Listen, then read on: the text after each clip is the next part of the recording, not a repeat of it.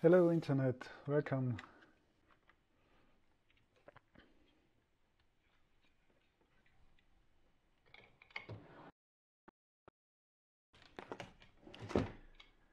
It is now the second day in our quest for LZW decompression for PDF streams. So the last thing we were working on is a decoding filter for PDF streams that are um, LZW, so Lempel-Ziv-Welch encoded. And yesterday I made a lengthy episode where we developed uh, this uh, decoding algorithm and at the end we ran into a very mysterious problem that somehow just the wrong data came out of our decoding and I couldn't find out what was going on in debugging. I somehow suspected that there was a problem with either the base 85 uh, decoding that comes before the actual LZW decoding or actually with the input data and the latter suspicion uh, actually materialized. So um, shortly after I uh, stopped streaming, I actually found out what is going on and it's um, it's really a problem with the input data, which is extremely annoying because the input data comes directly from the ISO standard uh, defining the PDF data format. And let me open the standard. This is what we were working on. They give an example of a LZW compressed stream. So actually this stream is first LZW compressed and then um, base 85 encoded. So if you want to decompress it, you must in the reverse order first um, apply the base 85 decoding and then the LZW decoding. And they claim here uh, in example 4 that the following shows the same stream without any filters applied to it. So first thing I found out is that um, once you actually get this stream into a PDF file and format it so, so that the stream length matches and so on, you still don't get the correct data because actually um, I found out that here in the last line there seems to be a redundant character. So the way I found this is that first I noticed that the problem that we had occurred exactly at the uh, at the line break. That was already a bit suspicious. And then I, I did some calculations on, on the data that we got and so I found out that exactly the same, exactly the, the correct data comes out when you remove the first 8 here in, in this line. So this, because I noticed that this 8 is, is twice here, which I mean, which could be correct, but it turns actually out to be a mistake. So uh, this line should start with the lowercase l. And I mean, there would be no way that if this wouldn't, if this would not be a mistake, there would be no way that you get the correct data when you remove this character because all the base 85 decoding would be completely sh uh, shifted and, and would completely scramble the data. So this is definitely a mistake in the ISO standard. It seems they, I, I don't know how this could happen. So it seems they either broke the lines manually or tried to fix some formatting problem or something. So somebody added a redundant 8 here. And maybe, uh, probably it's, it's this is the redundant 8 because the lines actually all have the same length if you print them in a um, fixed width font. So that was the, the first extremely annoying thing. And actually, when you checked the book by Adobe that was the source for the text in the ISO standard, it has the same mistake. So this mistake has been copied from Adobe. So also here, you see the stream that has the two eights here, and it just doesn't work with this uh, double eight. So actually it turned out that the, the LZW um, decoder that we developed yesterday was perfectly fine, uh, except for, for one thing that, that I added in but when I was a bit flailing around because I didn't fully understand what is going on. And I can show you.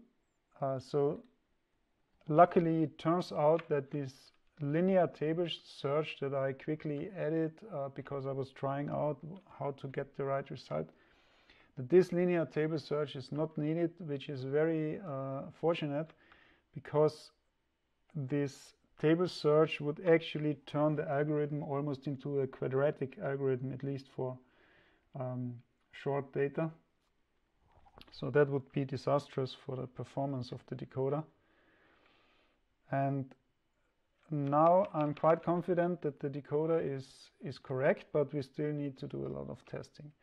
I'll just quickly walk you through the code that we have currently. So maybe we can even make it a little, a little larger. There's still um, some debugging uh, prints in there. Some of them I will probably leave in there because they are very handy if you have to track down some problem. They are they will be compiled out because I set this const expression flag here to false and the debug code is then uh, dependent on this on this flag and is optimized away. So um, actually I think the code is, is a bit too complicated to, to go through it again now, but um,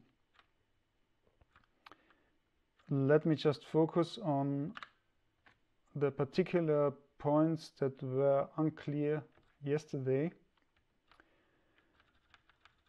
The first is there is a special case in the LZW decoding and first I thought the special case is when you get a table clearing command and then um, the, the first byte afterwards. But actually the first byte afterwards is, is not so uh, special. What is the, the, the actually the special case is that you can get a, a code that is are strictly larger than the largest code that you have currently in the lookup table. Actually, it's larger exactly by one than the um, highest um, entry in the lookup table. So that's why we here we actually uh, only fail if um, the code is even larger than that. So th that is something that I should actually explain here. Um,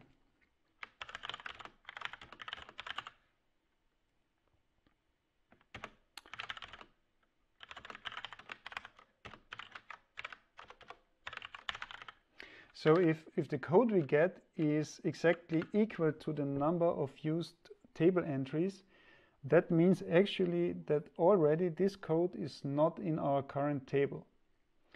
But that's, that is actually a special case that is valid in the LZW decoding.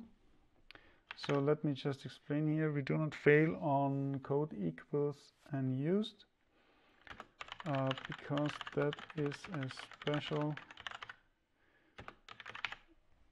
valid case which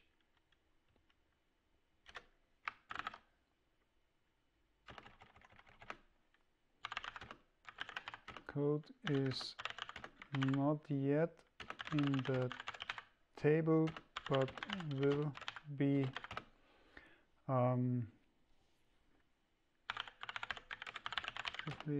added.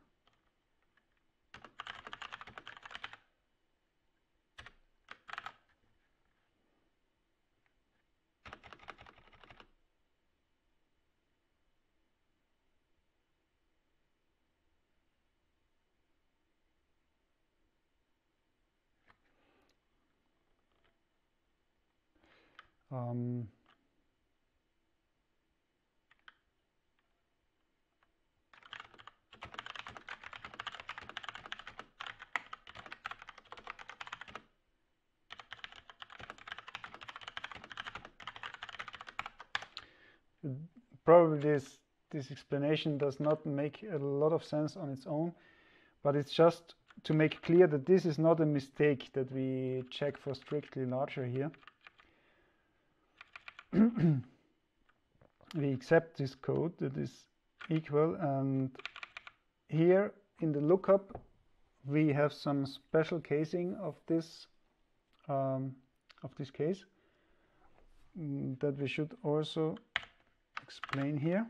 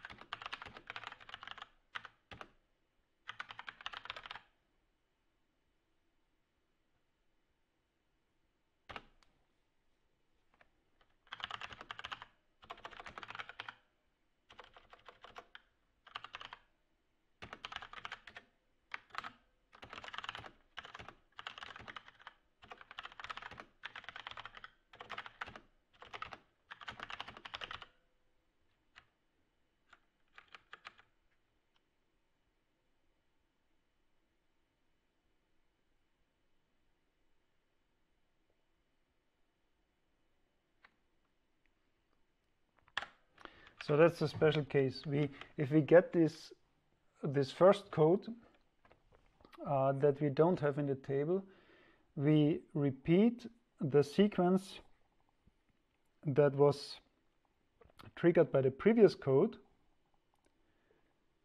Um, and this is only possible if the previous code was not a table clearing code. So that's why I fail on, in, in this case.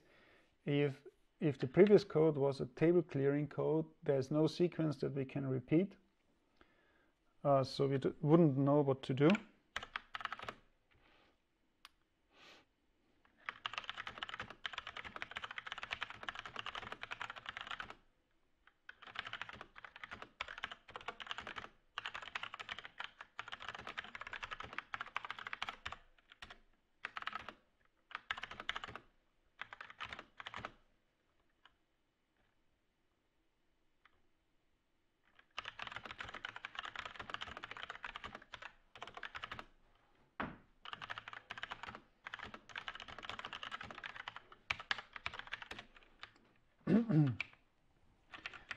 so that's the only problem. If we would have uh, previously a table clearing command, we wouldn't know what to do.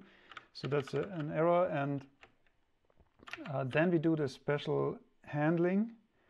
That is, we repeat the previous code, uh, but we also um, append an additional byte that is a repetition of the first byte of this sequence that we will uh, repeat. So that, that's just how this, this case is defined. And you can uh, see this if you look up the description of the algorithm in the TIFF standard, for example, then, then you can find this special case.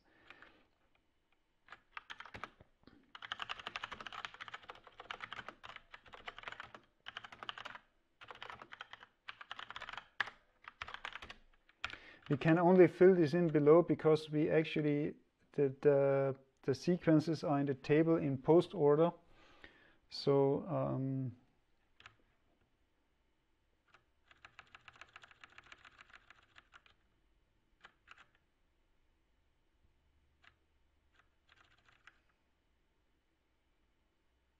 yeah. So that's now now clear. Otherwise we do everything like for a normal uh, for a normally looked up sequence that is triggered from the table. So we uh, we transfer it to the replay buffer in in reverse and then we we start to re replay it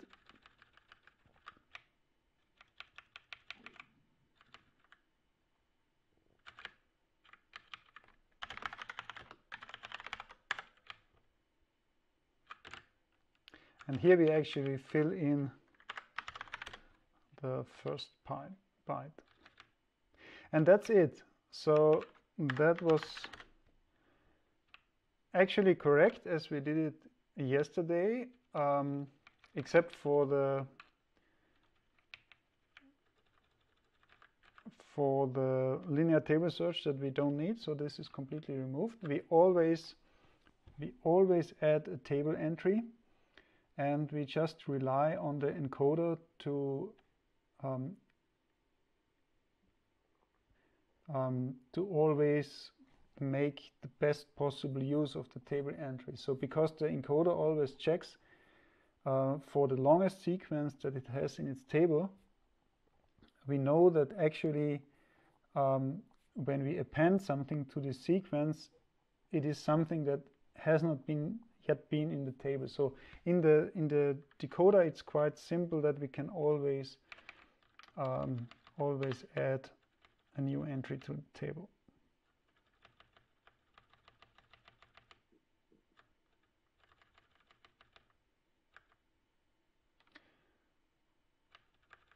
Okay, there's there's still some things to clean up, but I think the the next step for stabilizing this code is actually to to do um, some extensive testing to shake out any bugs that could be remaining. I did that today for the base 85 um, decode filter and actually I found only a single problem that also surfaced in combination with the LZW uh, decoding and that is that the padding at the end of the base 85 decoded data was not correctly handled because it's not really well explained in the ISO standard or in in Adobe's uh, book. So I think it's also not in the book. Mm, let me check if that is correct what I'm saying.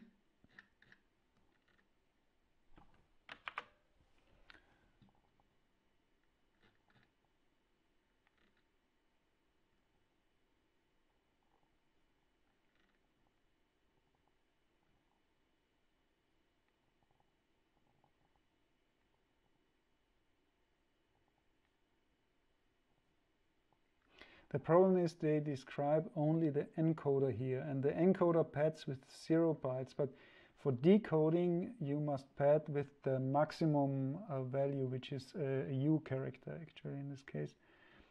So that's not explained here.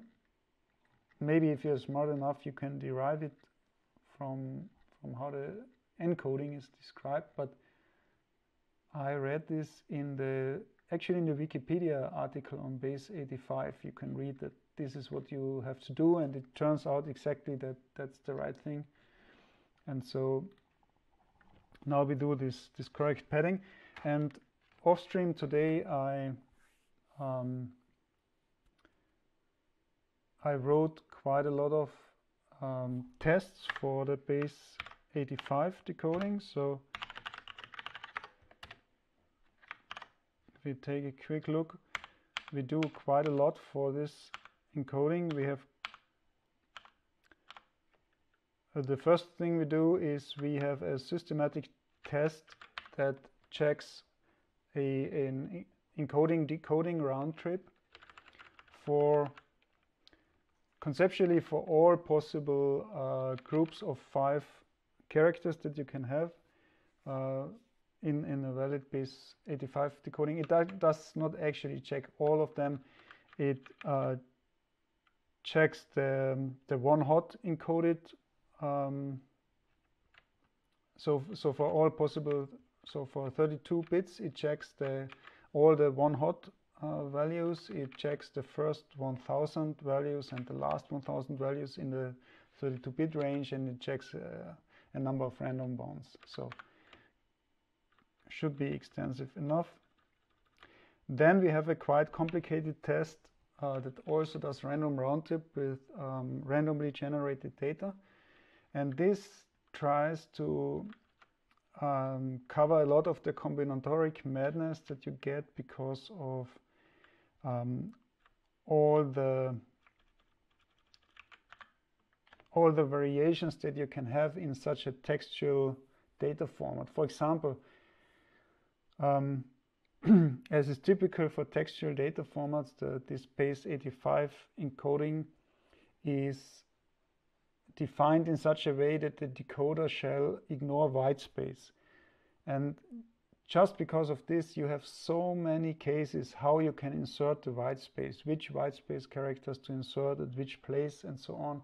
And so this, this test does quite a lot of work to pseudo-randomly inject white space in the, in the strings and so on at various places. and it generally tries to stress the decoder with all kinds of crazy things that you can do. And yeah, at the end, the round trip is, is checked and we expect to get exactly the, the input data back. Um, and then I have an explicit check for many of the error cases that can happen. So that's also one problem of, of these non-binary textual encodings that you have lots and lots and lots of invalid uh, ca cases of invalid data. So there's a, let's say, semi-systematic check of all of these invalid uh, cases where you have some missing characters or unexpected characters or overflows in the calculation and so on. And all of that is now automatically checked. I also check a nice example from the Wikipedia page on this base 85 encoding. So we check that this input gives this nice decoded output. Okay, so those are the checks, uh, the tests I, I now have for the base 85. So I think it's quite well covered. The only thing missing is a uh, real fuzz testing where we um, throw corrupted data at the decoder and test its stability. So that's basically the only thing missing for really good test coverage. And it should definitely be done, even if this, this base 85 encoding is for sure quite unimportant for serious PDF files.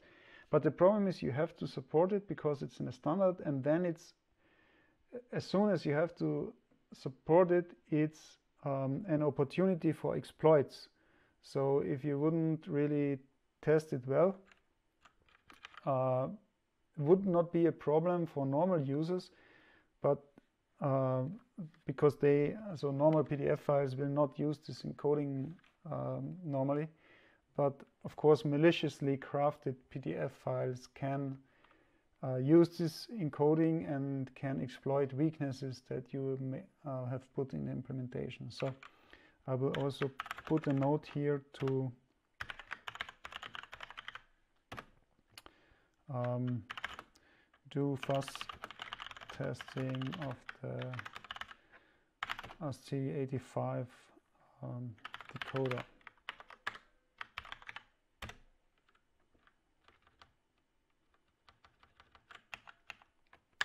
Okay, but now on to the next thing that I discovered. I'm now currently I'm working on a test, an automated test for the LZW decoding. And so far, the only, let's say, golden data that I have is this, this one from the ISO standard. So we check that if we decode this, we actually get exactly this output, which is a problem first because the white space is completely messed up here. But then there's even a greater problem. Um, in addition to this um, redundant character here that I can show you now, and it's completely crazy, and it's a good example of all the bullshit that you have to keep, that you have to cope with as a programmer when you um, work with these standards and so on. So you see that the test is currently failing. Let me just, sorry, um, let me just set a somewhat smaller font size. And actually let me get the chat window to the top because I'm not losing hope that someday somebody will like to chat or will have a question or something. So let's look at the, the failure that is reported, the first one. And this is a really funny failure because you see the expected string would be this one. Unfiltered streams can be read easily. That is what we get here in the standard. And what is the output of my decoder? Well, the output of my decoder is unencoded streams can be read easily. Isn't it crazy? and, and I mean, it's totally obvious that this is not due to a bug in the decoder. You just would have no way that, um, at the, especially at the beginning of the data when the decoder has not seen other texts, there's no way that this can happen uh, due to a bug in the decoder. So it's obvious that there is a mistake in the standard. This, this data here does not correspond to this um, uncompressed data. It's clearly wrong, it's a lie when they say the following shows the same stream without any filters applied to it. It's not the same stream.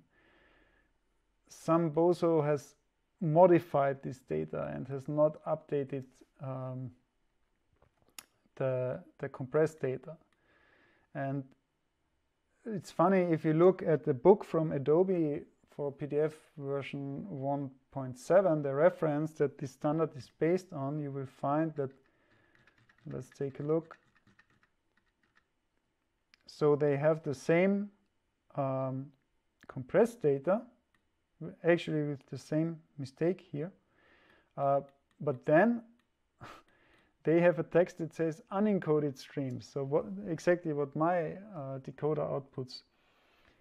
And it's obvious that some idiot has edited this example for the ISO standard and has not uh, checked that, uh, has, has not noticed that the example actually claims to be um, the same data as the one compressed above here without filters. So, and I, I don't know, yesterday I, I spent for sure uh, one hour looking for problems in my code because this, this data does not match. Not this particular case, because this I would have noticed immediately that this is not a problem of my encoder, but um, a decoder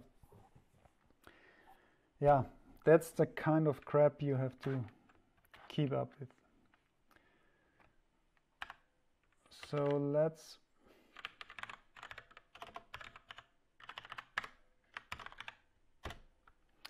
and it seems nobody is actually looking at these examples and trying them out. It's really a shame. So let's proceed to fix this this test.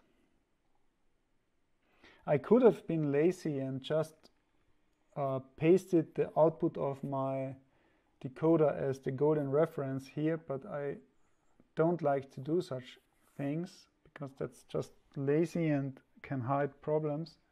So I actually copied the, the example from the standard and yeah, this is what I get for being diligent. I run into problems like this.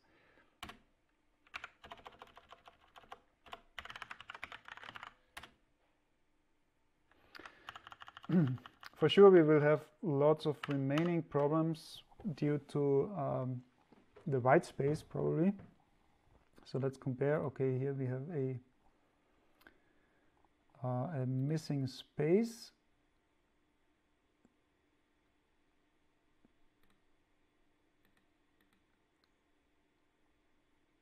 So there's actually no space here.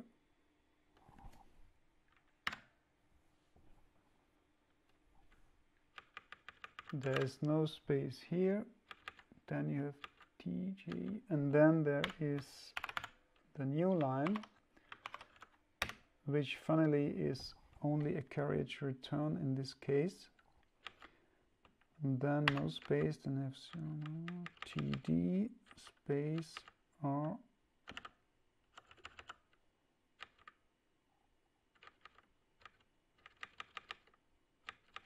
Okay, I think we should pass one more block of data now.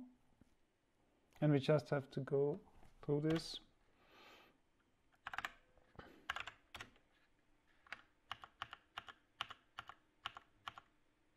I still think this is a better check than if I would have just used the output of my decoder as the golden reference because I have at least a chance to find additional problems this way. Okay, so here we have an extra an extra new line in our expected data that is not actually there. So which one is this? This this one. So here we actually have only a space.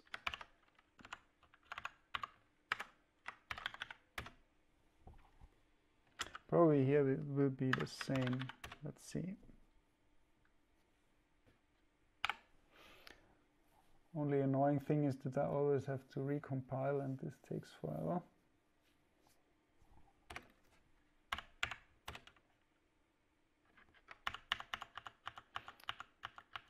That's really my my single biggest pain point with C++ is the compile times. So that looks already quite good. Okay, here we have also a white space problem. So it's actually like this. Wow, this is quite quite tedious.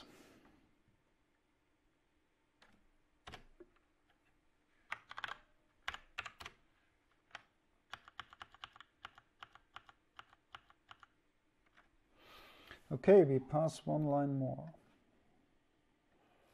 So let's take a look at the next one. Tag. So we don't have the space here. More space then no space here.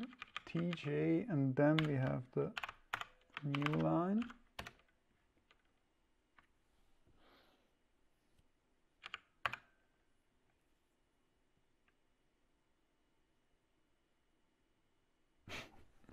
And here we have actually encoded streams, not compressed streams. So this is probably also here in the PDF we have encoded streams. Yeah, and then as a standard they write compressed streams, but the idiots did not update the compressed data. That's so annoying.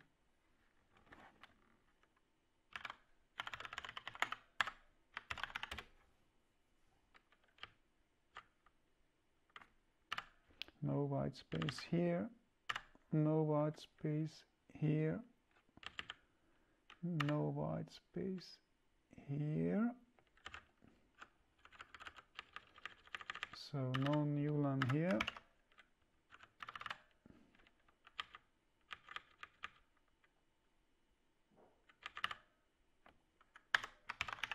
Okay, let's just go on like this.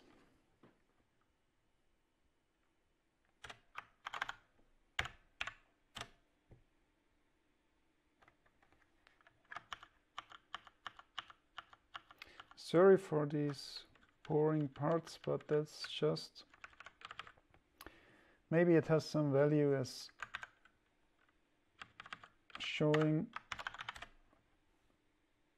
some of you the more tedious parts of being a programmer a diligent programmer because I could really make my life easy.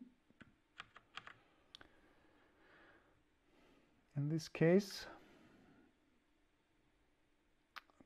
that's not the way to go.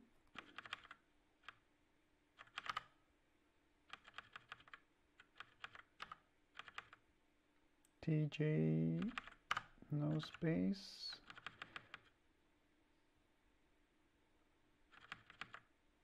And here I guess we don't have the, yeah, we don't have the R here.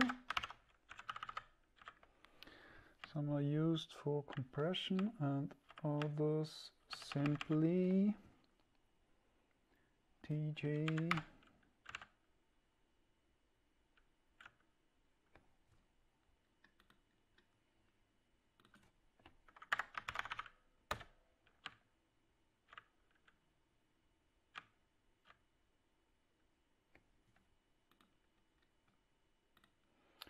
Okay, here we actually have space here, but not here.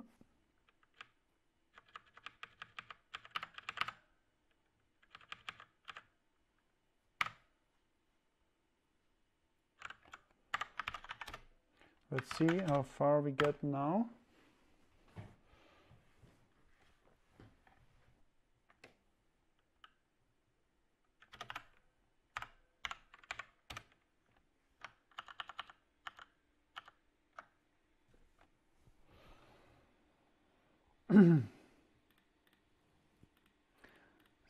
Okay this space is not really there.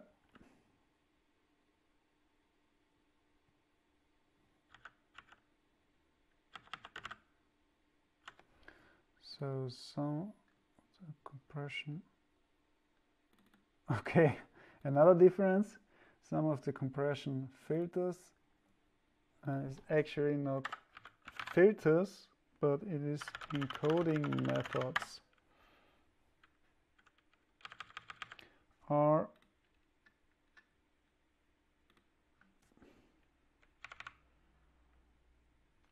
okay this this backslash is not not really here.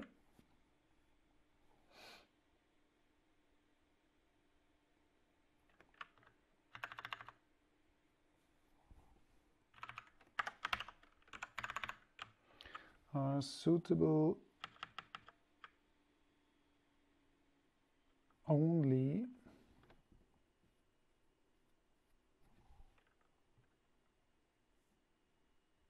oh no. I jumped. I jumped a line here. Uh, suitable.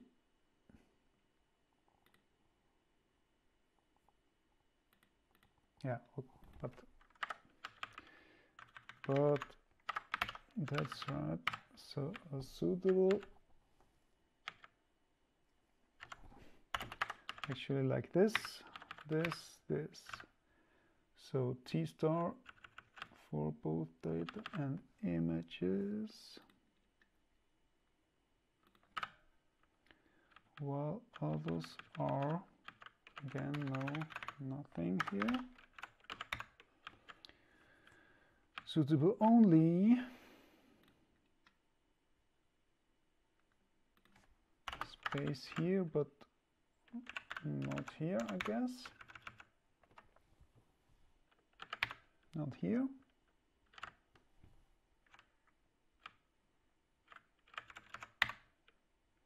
Not here. Not here not here. Okay maybe that's it.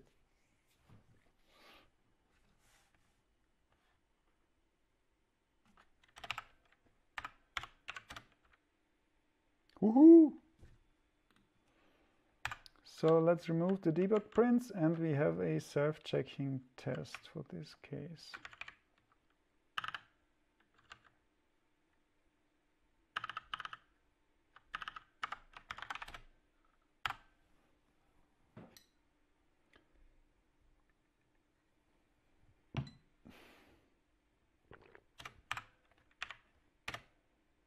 Nice, nice, nice, nice. Okay. Still some debug prints from our PDF stream open.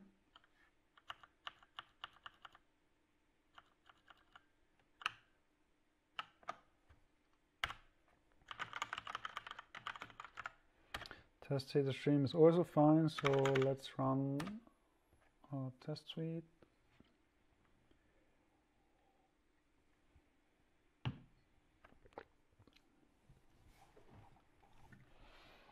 Okay.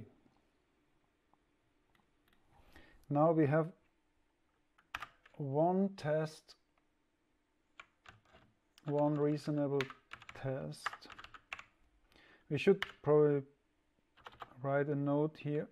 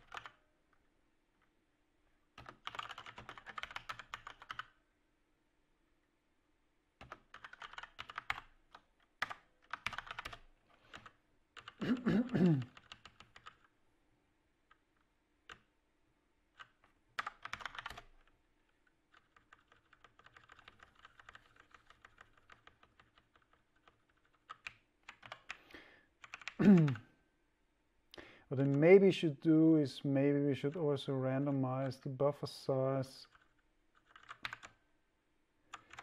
uh, that we give to the PDF file. That would be probably a good idea to randomize this.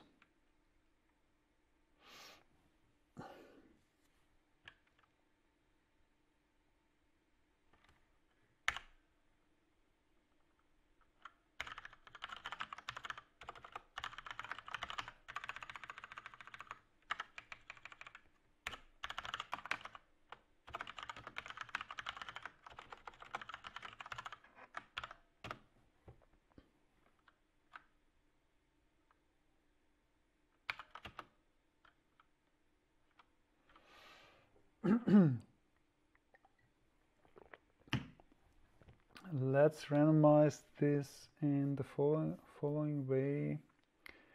Um, let's first randomize a power of 2. I really should use the namespace here.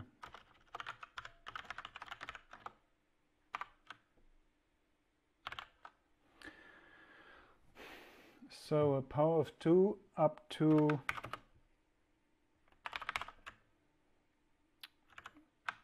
two to the ninth, that would be 512.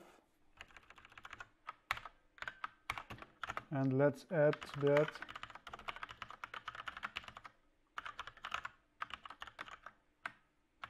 something to make this to get some odd numbers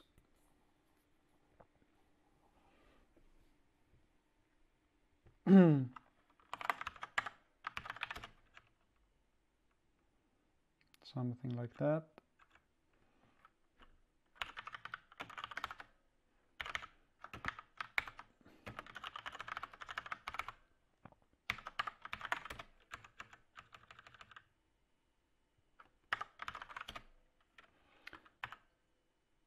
everything passes. That will make the test a bit more interesting, the randomization.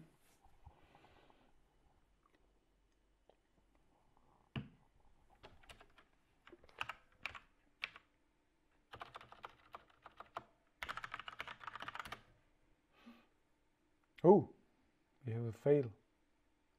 That's interesting.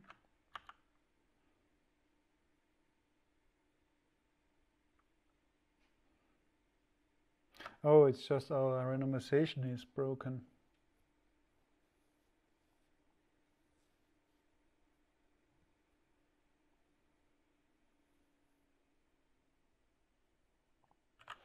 Why is that? Oh, ah, aha. No, it's not. It's yeah, it's our because actually a PDF file buffer must always be at least 1k large because we, we use that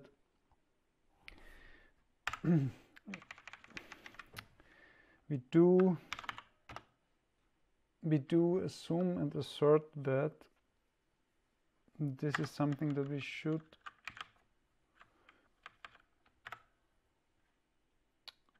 we should really document here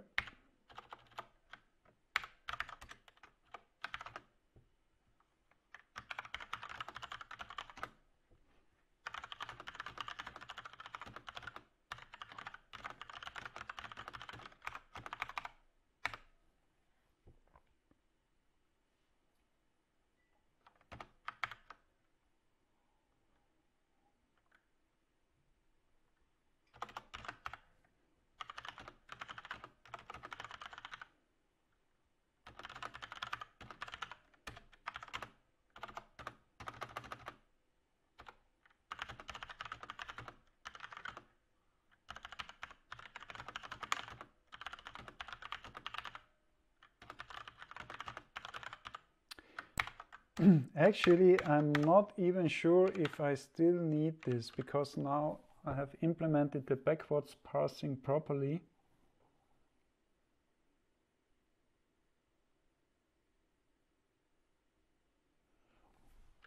I should, at some point, I should check if this restriction is still needed.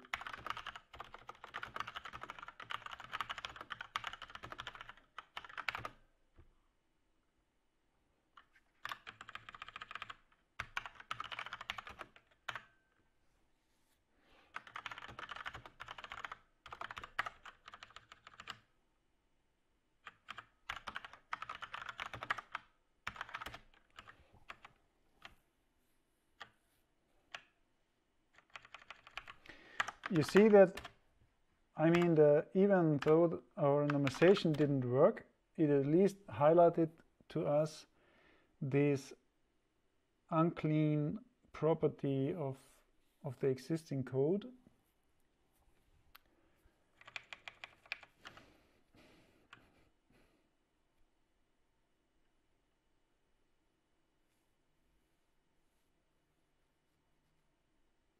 So we can't we can't really do a lot here.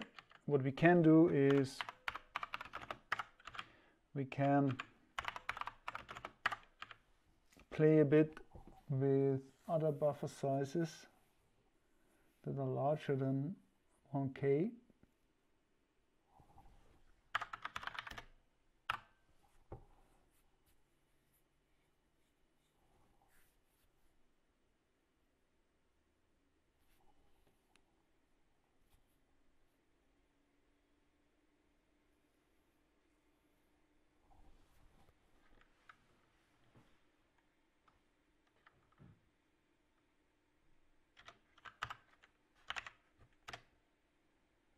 Yeah, now it's working again. Um,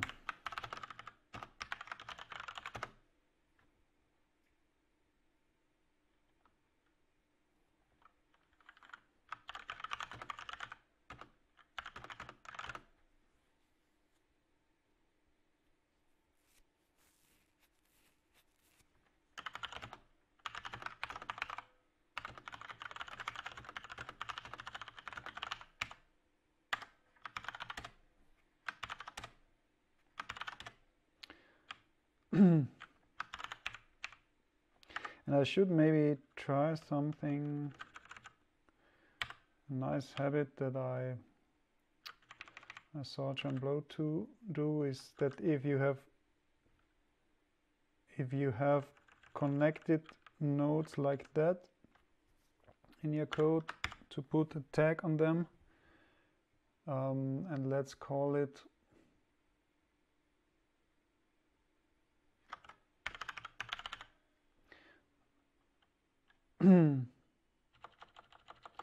let's call it uh, a PDF file buffer size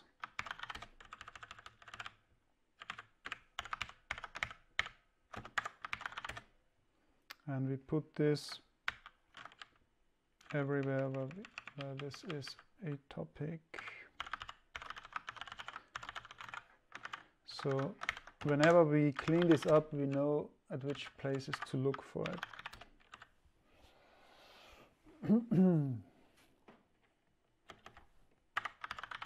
okay.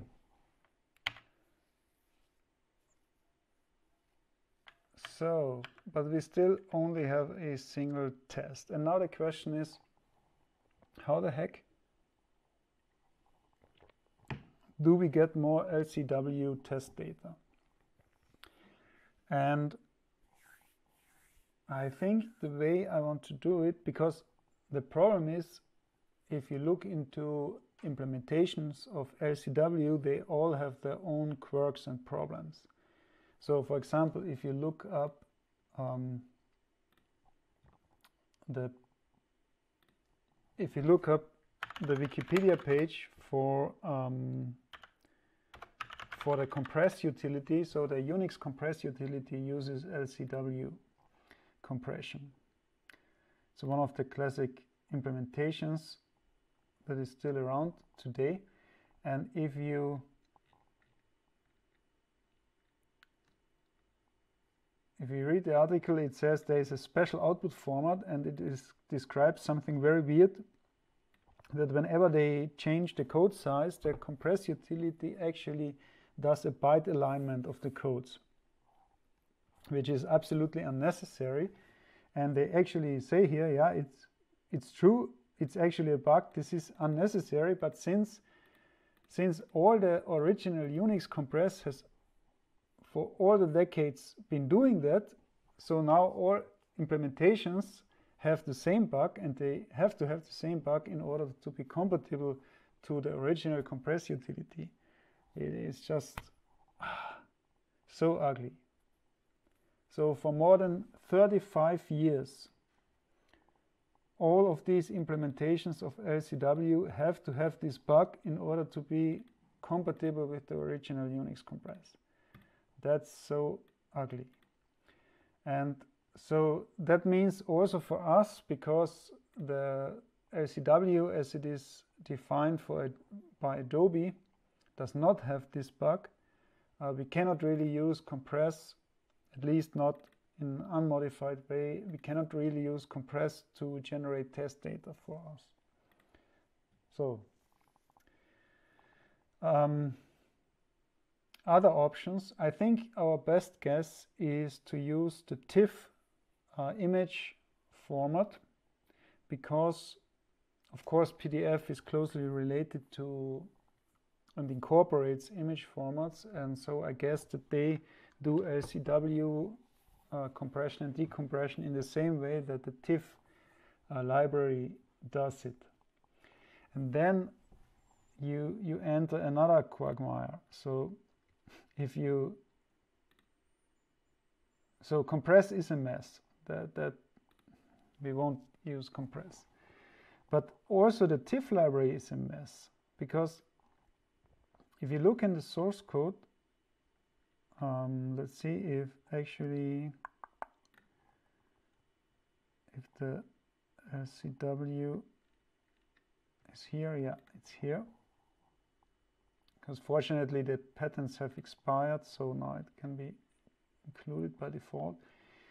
If you look here, it actually has two different implementations of LZW because they also uh, say, yeah, there is a popular implementation that actually has a bug that it uh, it has a different bug. It has a bug that it increases the code size one step too early, so a typical off by one error.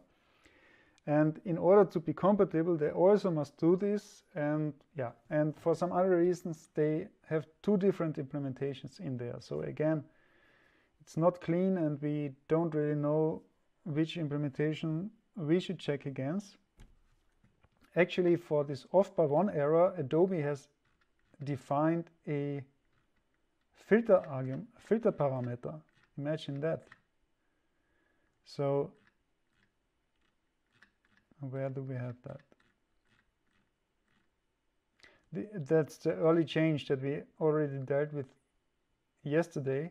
So this bug is so frequent, it seems, that they actually introduced a filter um, parameter where you can turn on intentionally this switching of the code size one too early. So one step too early. And so you can decide whether you use the actually the um, the switching scheme that makes sense because you switch as late as possible or whether you want to switch one, one step early. We have actually implemented this and I have no idea how to test this because we will need to get test data that for both variants and yeah don't know where to get this test data from. The implementation is actually quite easy, so we just add 0 or 1 here in this comparison, and that's it, but it's, it's hard to find test data for it.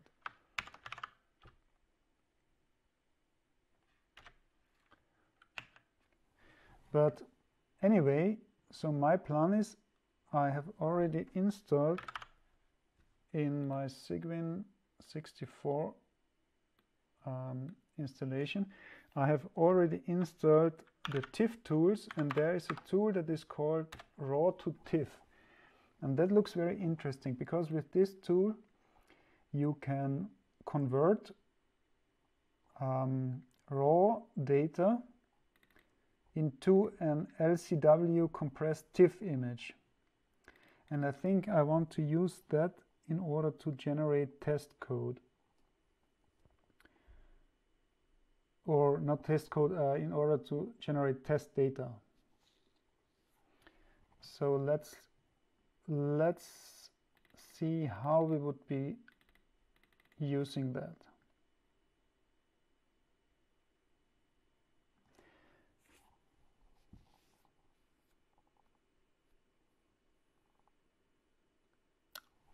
In the end, I probably do not want my test suite to depend on this tool being available. So I think what I will do is to write a generator that generates test data that we can then use without having this tool available. That's probably the best option.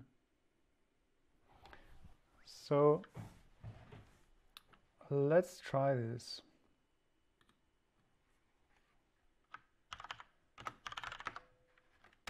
We already have a generator for the Huffman table stuff. So let's make generate LZW test data.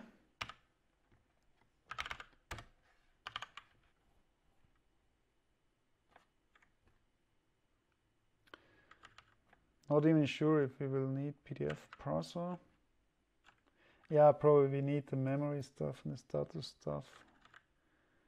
JBig 2 we won't need, so this can all go away.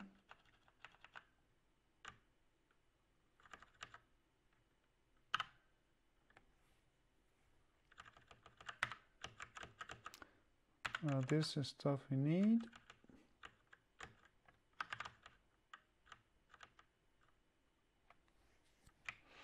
We will need to generate a file. Oh, actually we print the standard out.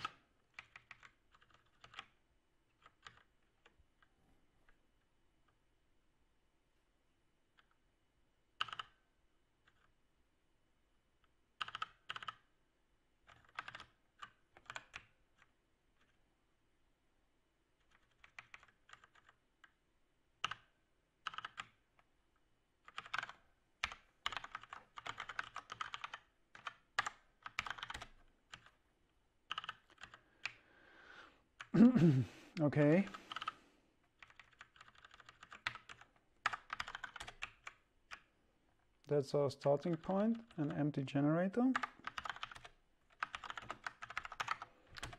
Uh, we need to add this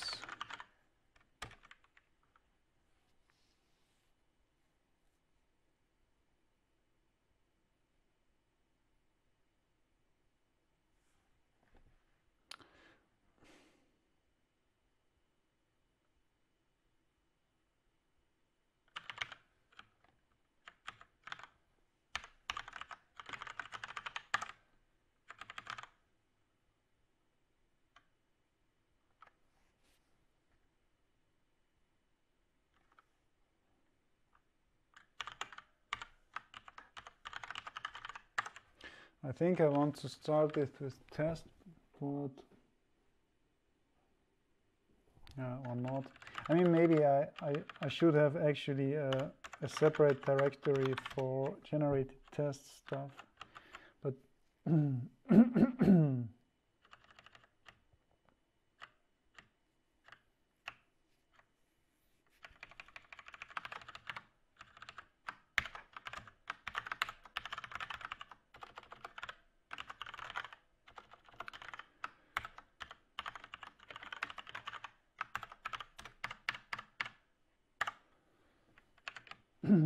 generator LZW test data. Yeah, the problem is that the PDF library currently pulls in a lot of dependencies. Not so much we can do about that now.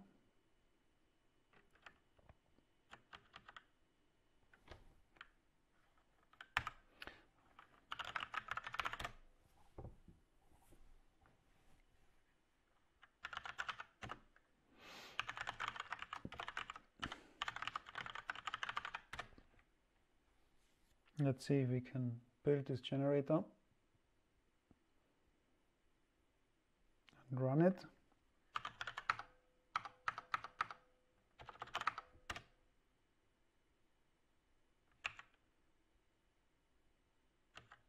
Oh, I specified to no. Ah, this is a mistake I often make with Vim when I when I create a new file so I modified the wrong the wrong file I modified the original. That's annoying but we can easily fix that.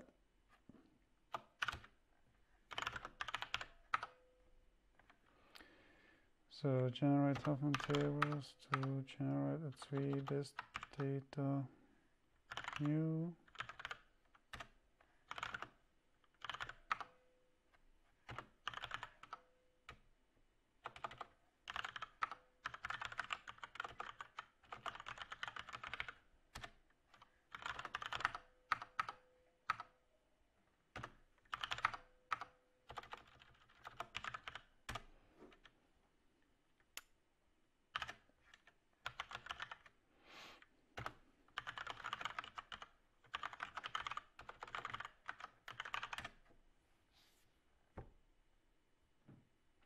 Oh, it's not smart enough to... That's bad.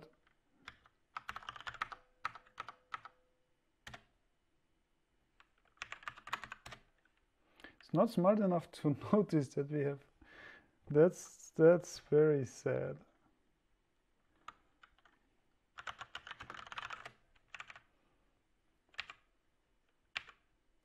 The Great Ninja Tool has this wonderful name and does not even notice that we have renamed our source files. That's so sad.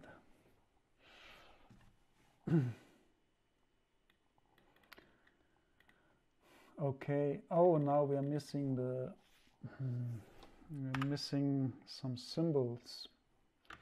So actually, um, I think I will need here simply the test libraries, something like that.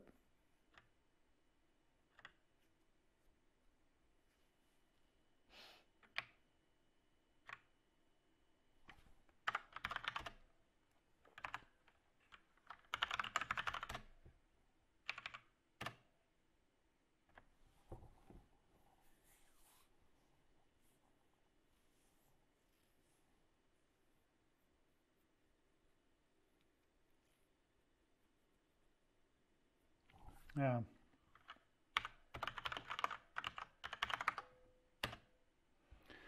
Okay, how long it takes just to build an empty executable, that's crazy.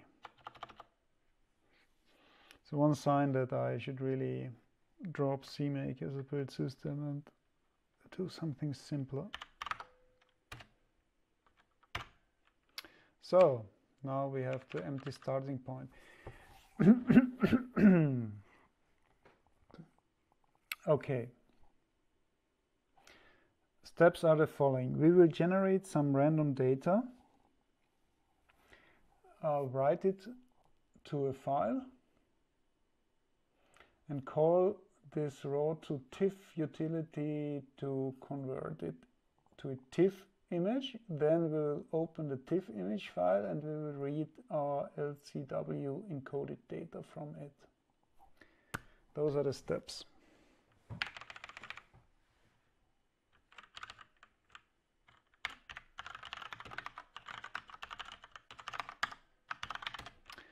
So let's let's set up randomization.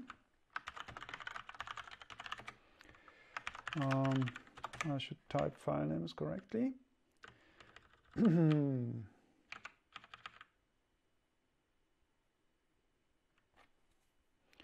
I should call random init.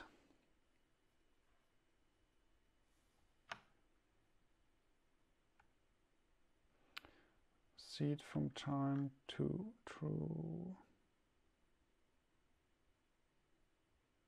Or maybe not because I probably want my generator to be deterministic, so and it doesn't have all the mechanisms of the unit tests for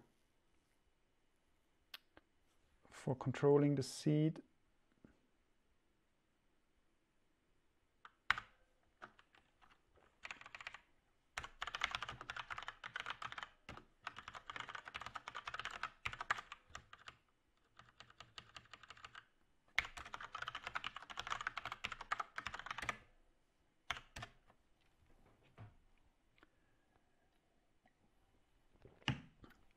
so let's see if we get um, deterministic numbers.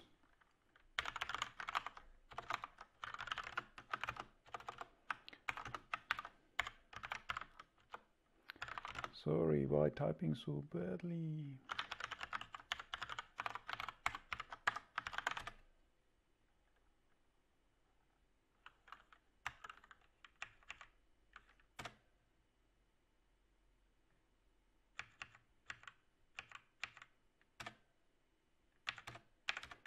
Yeah, we get every time we get the same number, that's fine.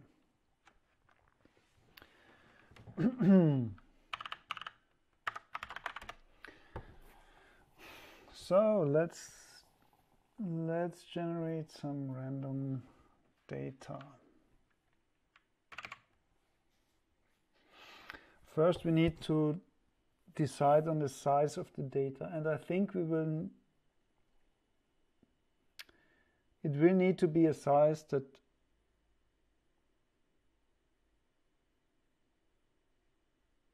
will be the size of an image, but we can always make the image only one column or one, one row. So we can use any size as long as it does not exceed the limits of the TIFF uh, image format. So let's uh, say data length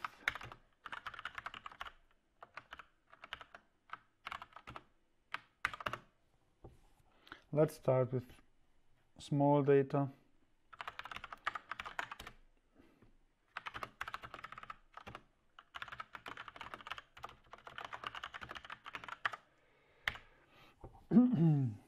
so probably we want to be smart about that so that we I mean I don't know if TIFF under if if TIFF supports zero size images that will be interesting to see. So maybe let's make this even smaller so that we will get eventually zero size image.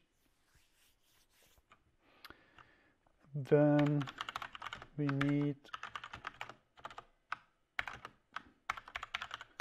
a buffer for our data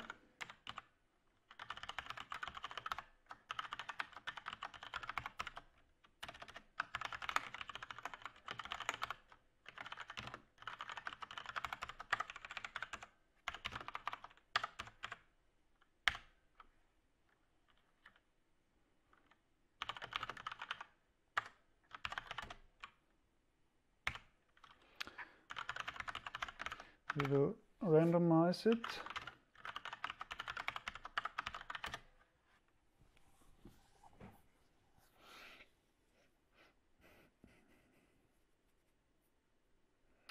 and then we will write it to a file right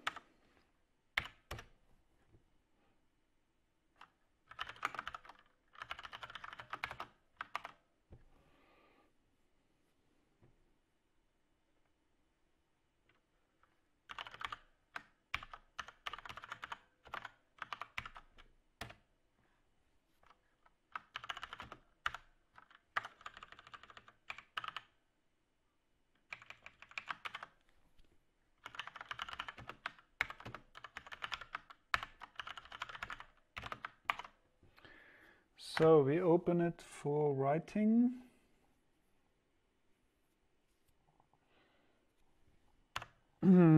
Binary.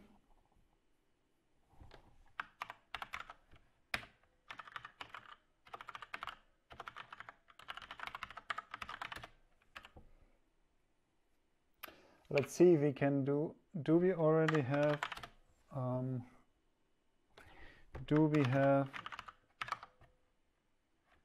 the necessary functions for doing somewhat nicer error handling. Somewhere we have this.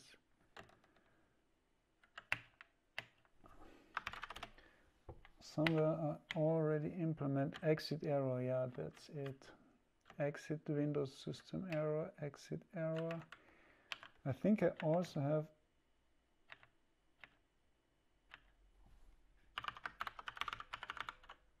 something that uses string. Uh,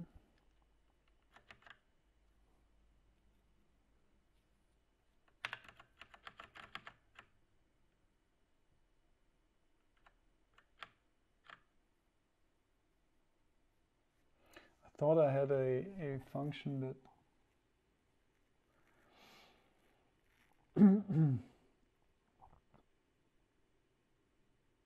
that takes care of formatting a standard library error.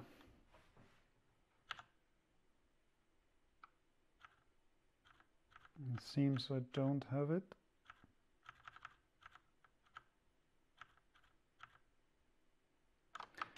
But let's start to build here a system of useful functions. So I think Those are so useful that we want to export them.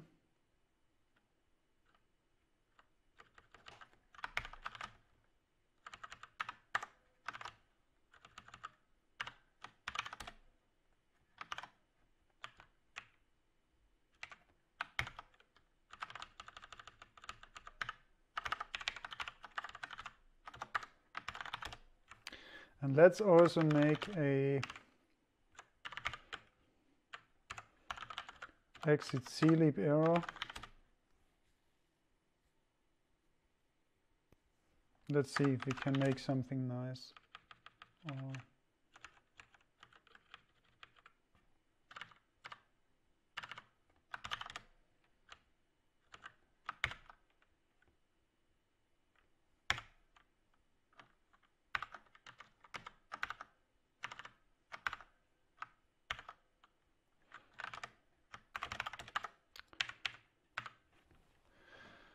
So the way th this would work is similar to this.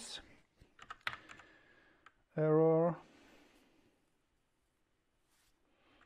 And then what we specified ourselves.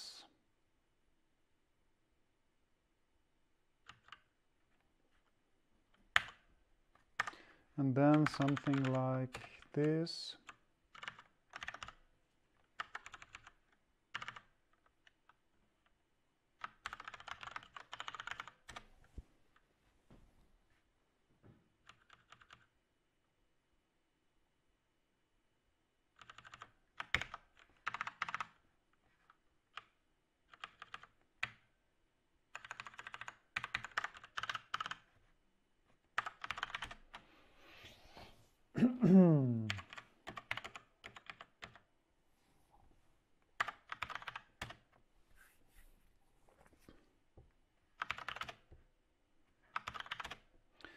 I guess that will, that will be useful. Um,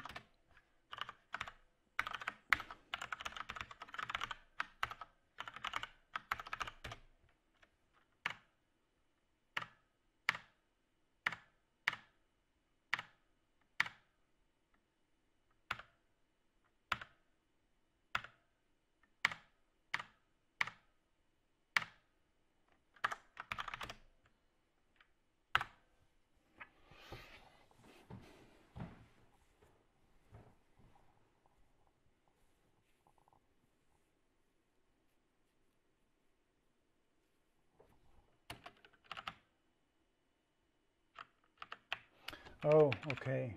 So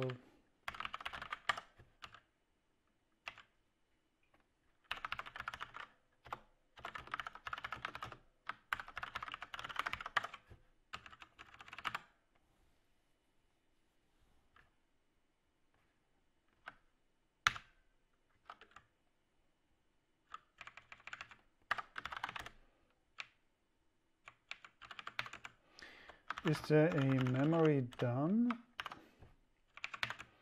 Memory free. Okay, this should actually be memory done.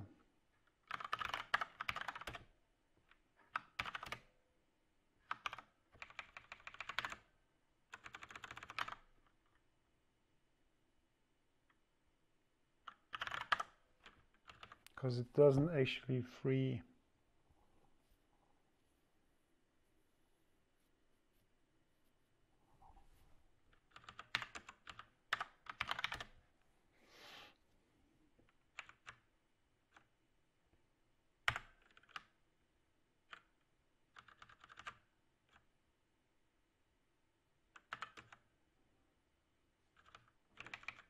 Okay, yeah, that's fine.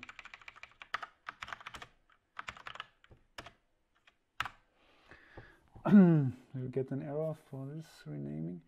The point being that my convention is that free actually frees the memory pointed to by the pointer that gets. And done is like a destructor that acts in place and does not do that.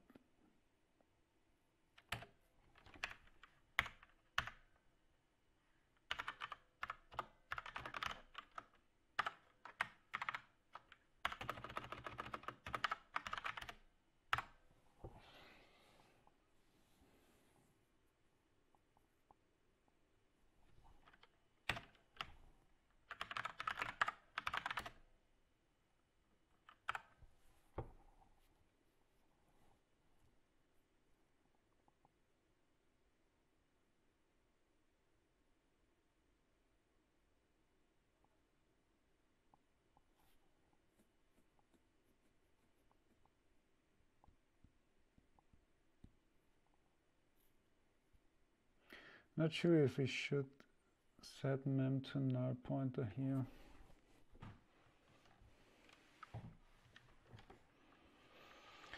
Well, maybe it doesn't hurt.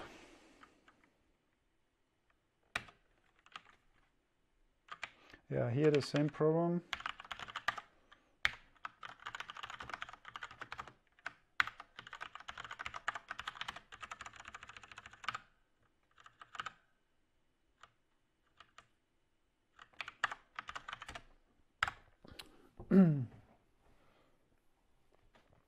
need to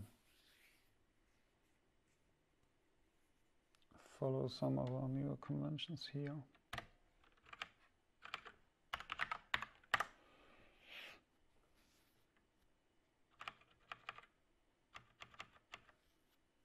And now we can actually try here to do some nice error handling. So if not raw file, then we will exit clib error. So let's exit clib error.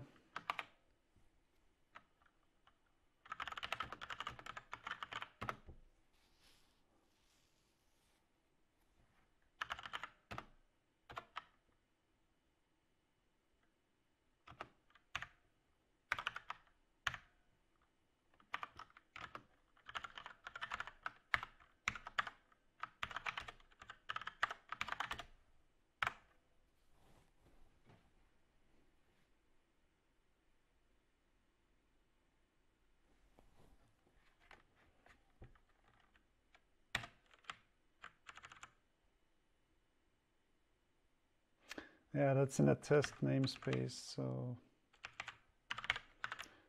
I guess we will just use that here.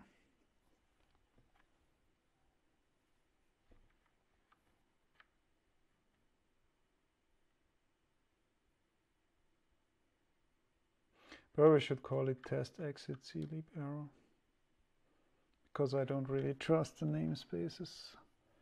I think I will maybe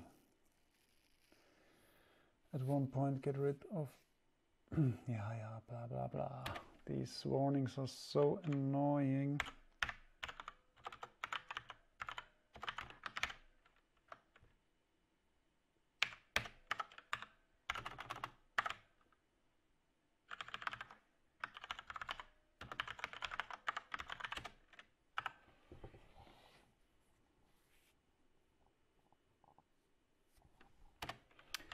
Okay, then let's close the file again.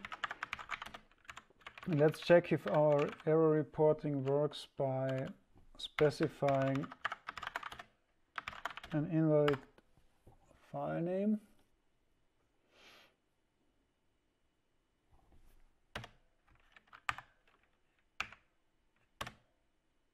Could not create file error. Okay, there's something wrong. Oh, with the error, no such file or directory. That's a bad error message, but probably that's what the that's what the clib actually tells us. So we will change this. We will do an exit here and just do a f printf standard error.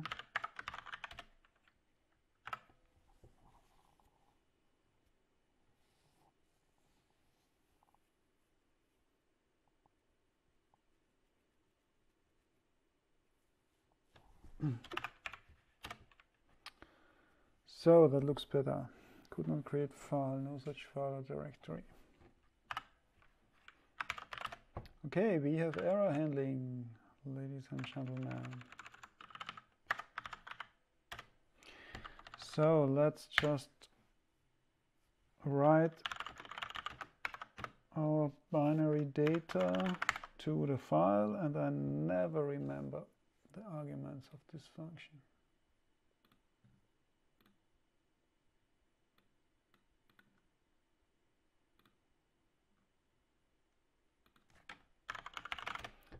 This, the order. I remember which arguments there are, but size, count. That's what I never remember.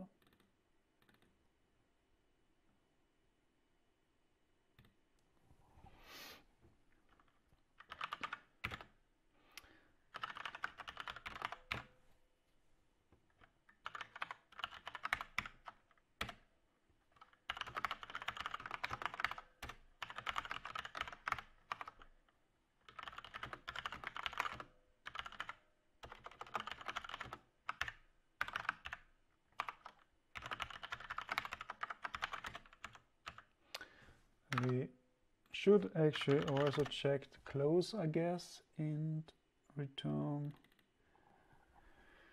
returns EU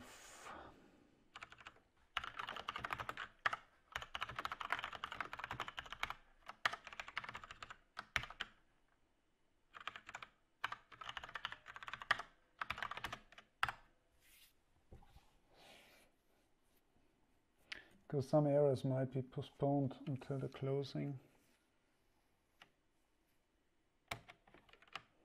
Really? this is a size T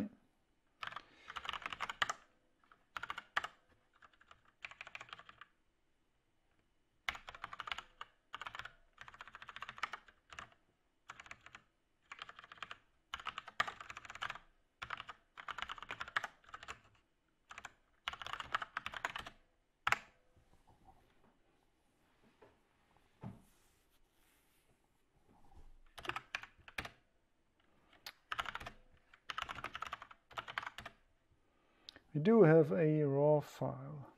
Nice. So the next step is to, to call the tool to convert this thing.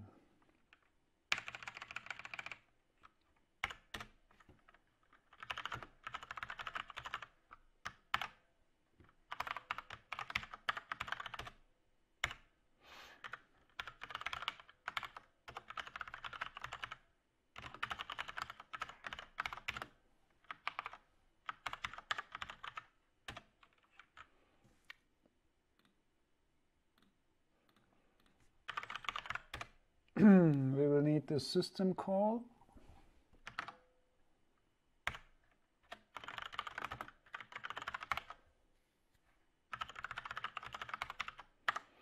And the system call has this very strange uh, convention for the return value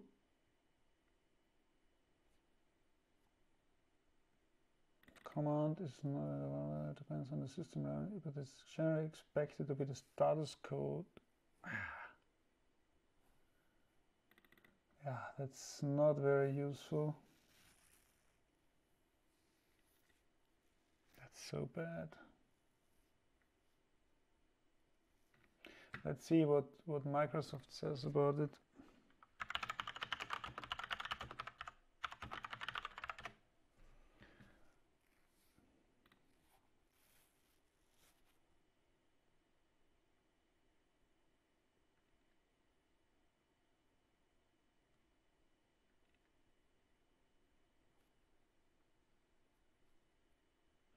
If blah, blah, blah, if command is not system returns to value is by command interpreter.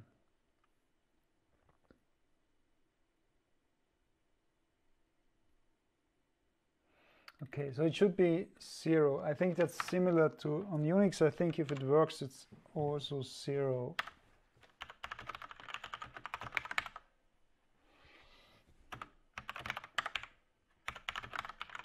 And if it's negative, then we can um,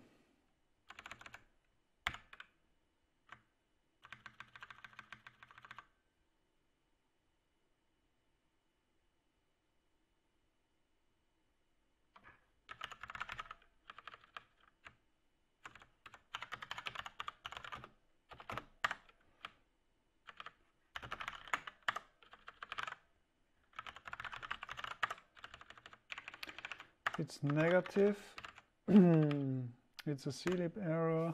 Otherwise, if it's non-zero, it's it uh, we can say exit error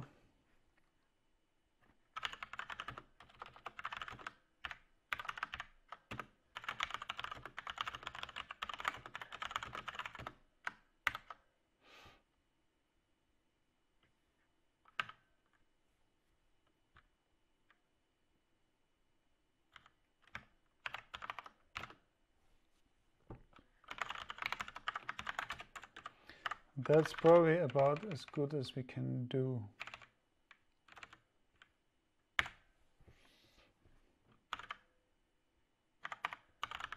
Let's first do something that will for sure fail.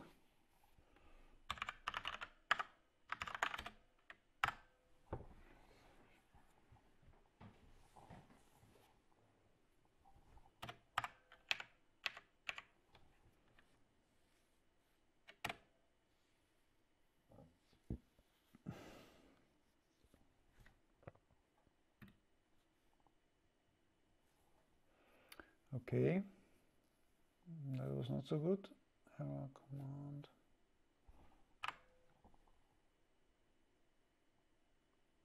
Oh, because I forgot this. So, yeah, always important to test your error handling.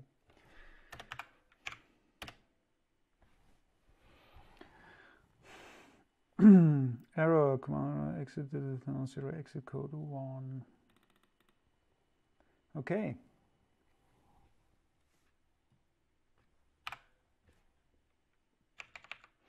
So we probably never get a clib error because it always finds at least the command exe and then we get the result from command exe. But at least that worked. Let's try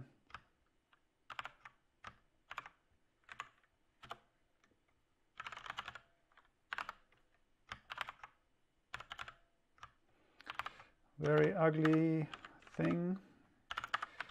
Hard coding the path. But step by step. Let's do it. Okay we can actually execute it. Um, nice.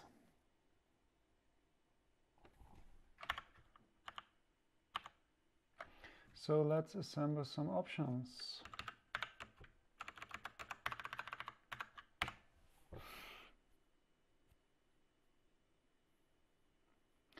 So input data order LSB to MSB.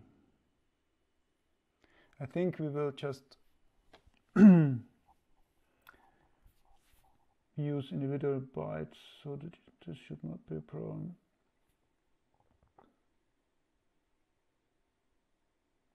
Size of the header we will leave at zero. Uh, width we will set to um, our our data length um, height height we will set to 1 okay it's actually length that's funny. Uh, number of bands we leave at 1 uh, data type will be byte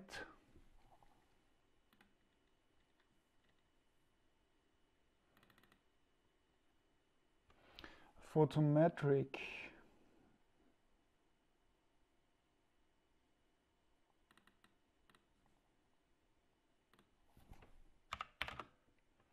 I don't know if we actually need that but we will do something like this. Mini min is min is black. Swap bytes don't swap bytes no interleaving. Okay and now we specify the interesting stuff the compression. Uh, CW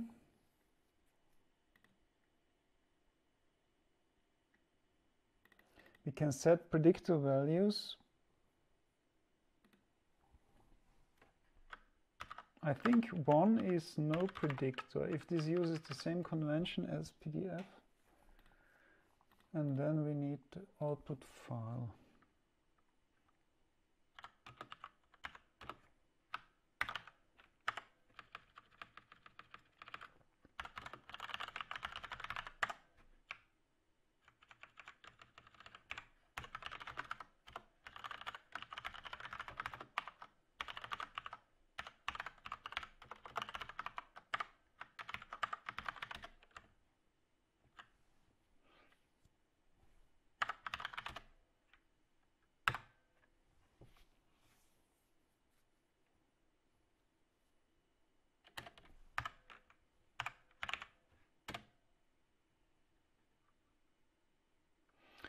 Okay, we made some mistake in our options.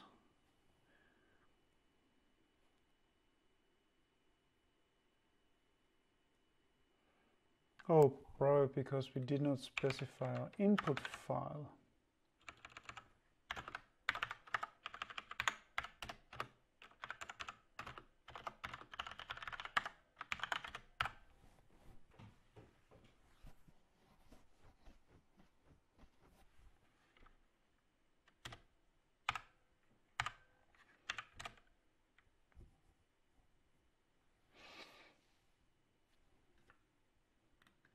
Mm, does it say what the problem is?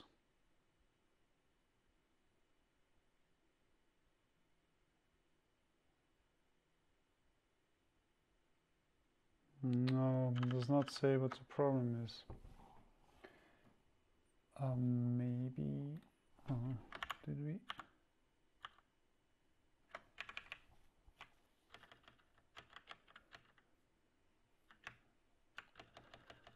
They should be fine. D data type, P photometric, minus C uh, LZW.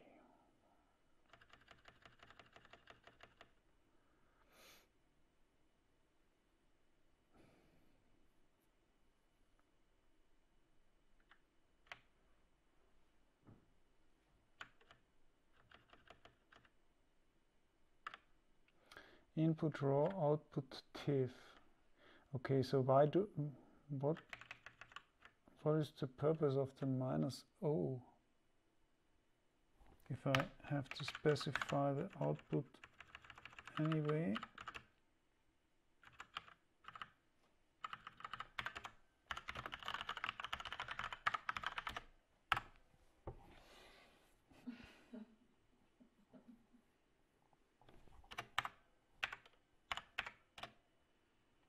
Okay. We do have a TIFF file. So let's have a look at this TIFF file.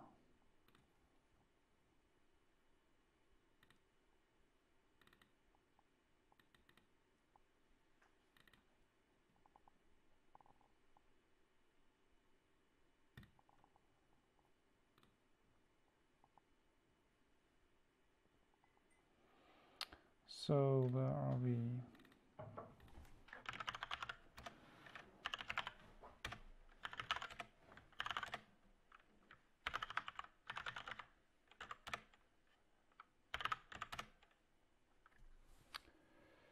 Uh, we are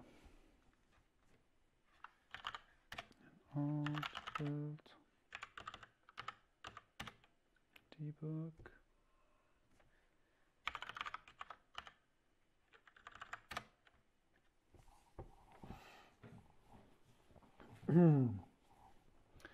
okay, so now I should probably look at the TIFF standard to see and understand what all of this means and where our actual where our actual freaking data is.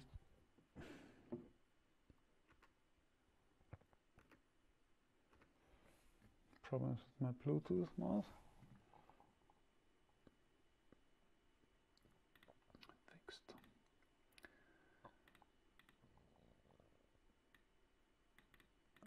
So where is the actual data?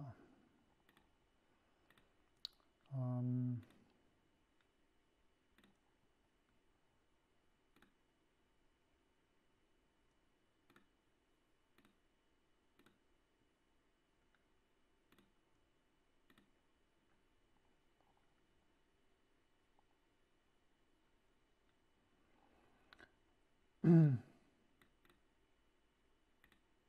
TIFF specification.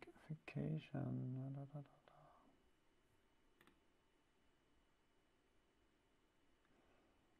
da, ah, but I think it's it really is available. It's just not the right link.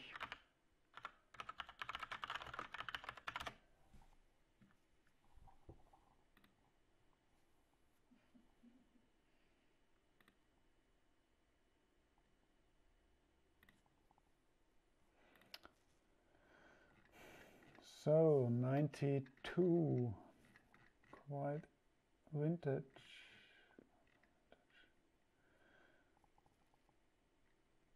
TIFF structure.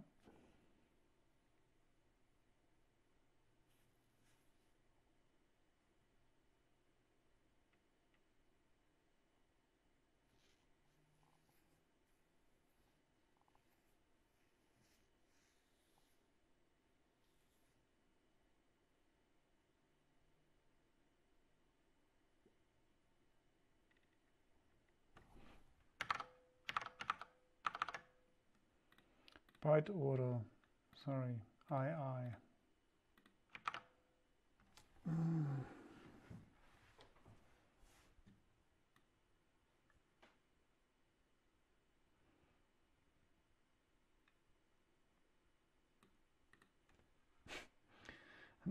arbitrary but carefully chosen number 42. Very funny.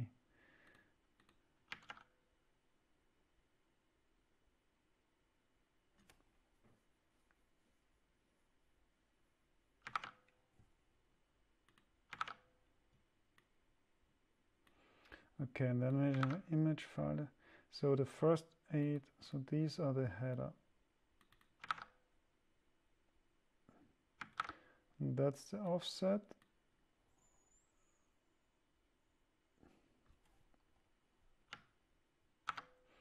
of the image file directory.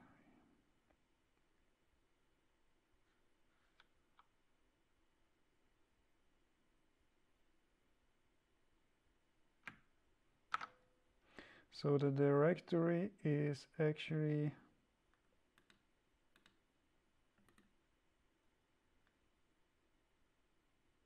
at 16 hex, so that's here, here starts the directory. And maybe this in between is the data that we actually want to have.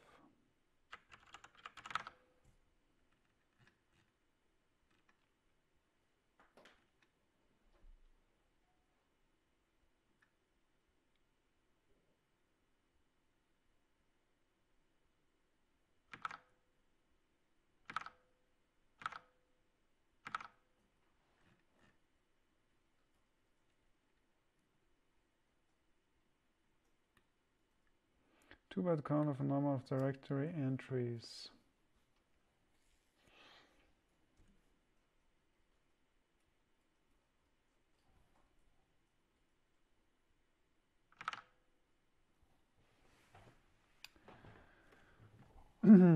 Fourteen entries, that's quite a lot.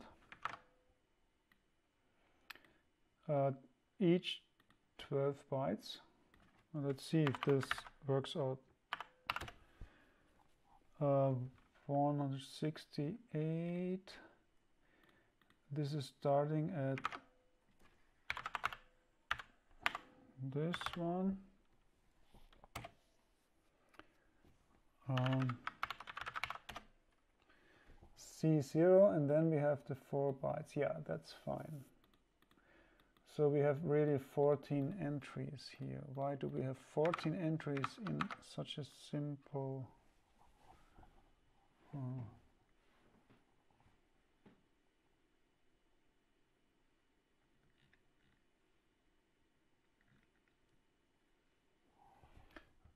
So we always have a tag. tag is one. No, tag field type.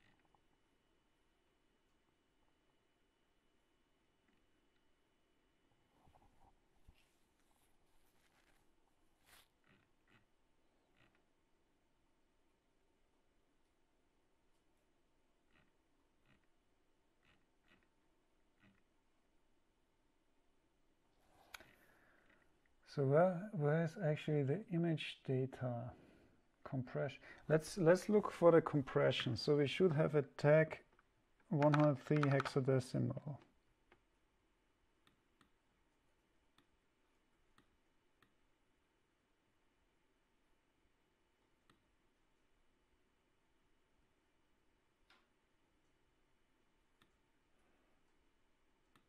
This is tag 100, 101.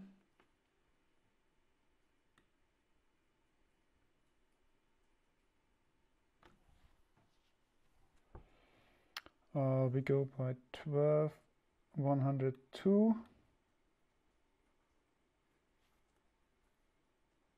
We go by 12, 103. That's the 103. Um,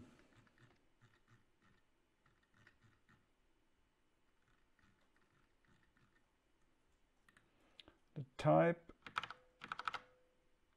that's the type. As a short. There's one of it.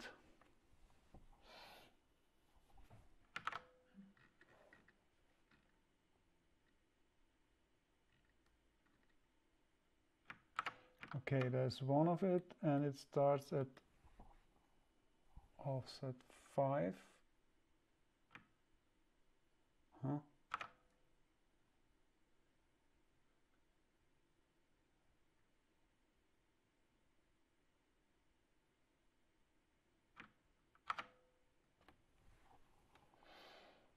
Does it really point to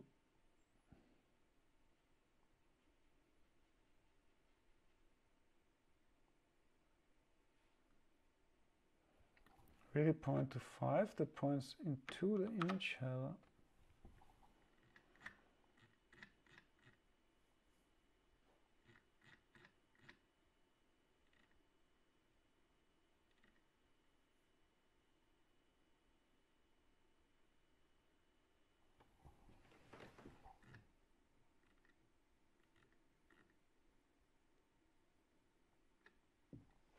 Okay, so 100 is the image width. 100 type short. We have one of it, it's at offset 9.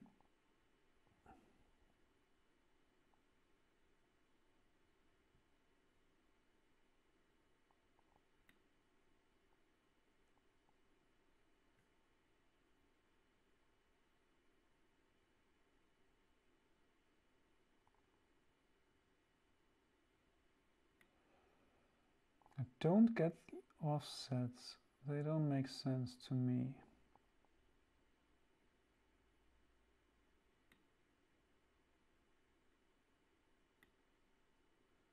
Oh, maybe this is just directly the value in this case. So it's a value 9. Ah, yeah, that, that makes sense. Value 9, so 9 pixels. This is actually, this is the, yeah, that makes sense. And this is the height, that's one. This I don't know yet. This is the compression and 5 is the LZW, I think. Compression scheme 5, yeah, that's fine.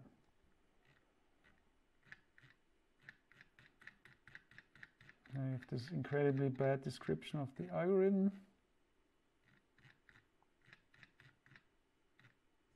And where is actually the, where is the compressed data?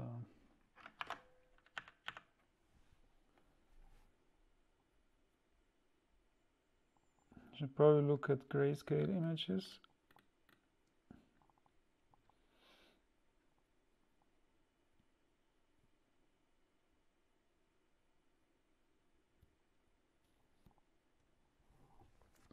Okay, 102 is bits per sample. This we should also have. We have a 102, 8 bits per sample. That makes sense. Okay.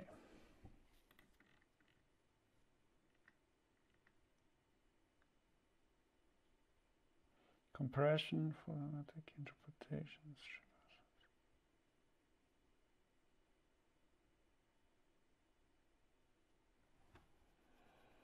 The strip offsets are probably one on one. They are probably that what points us to the data. So it's probably those one one one.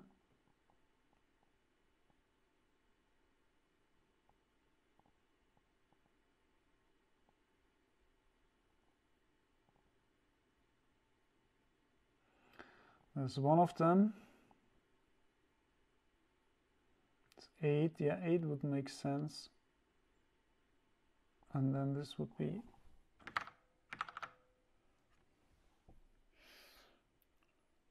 strip byte counts 117 uh, that could be this 117 and we have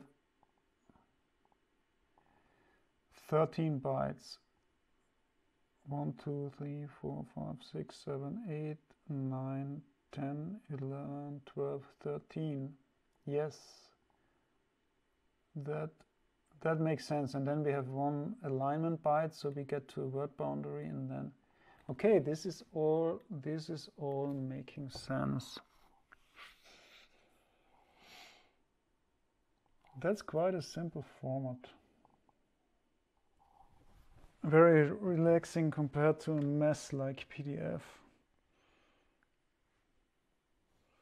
so we will just do some simple TIFF format reading, right?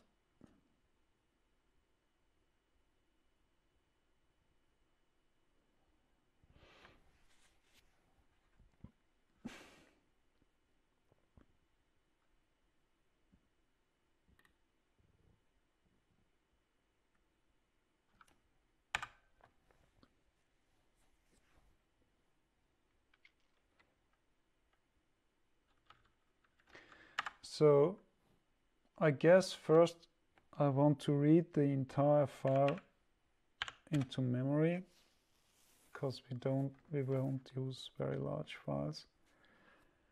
Um, could do it using the Windows API, but for this I think it really doesn't matter. So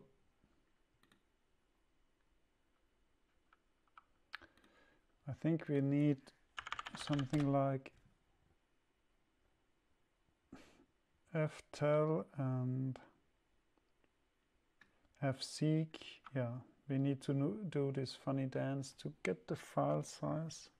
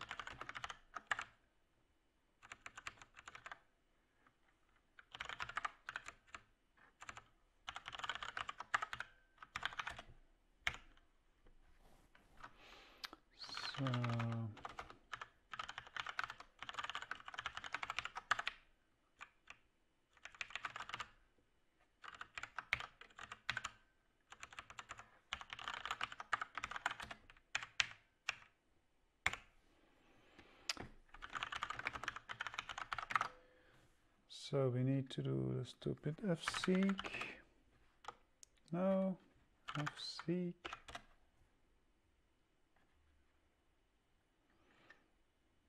Turn value. If successful, zero. Every single of these functions has a different convention for that. That's why I introduced the status object in my code base because I always want to have the same convention for returning errors, not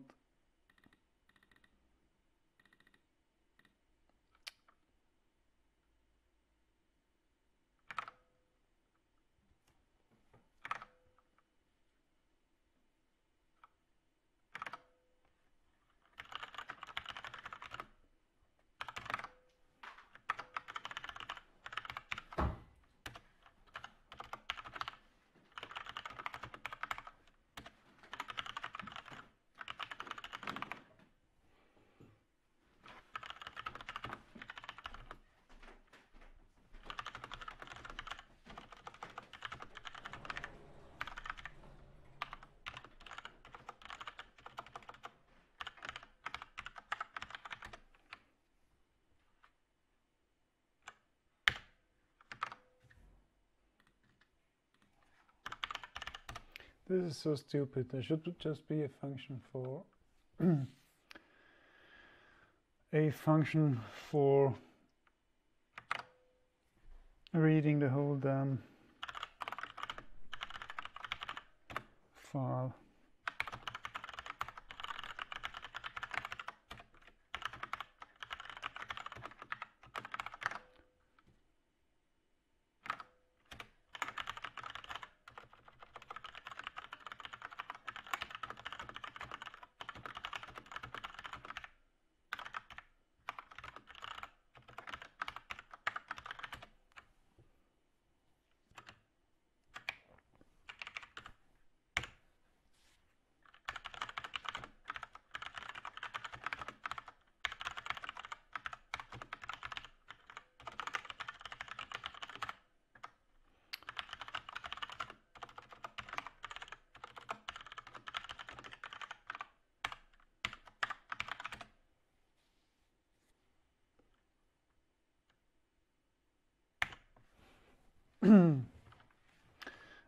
Actually should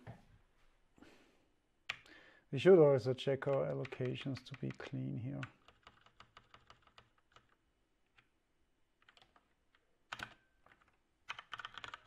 Let's for the time being keep it simple.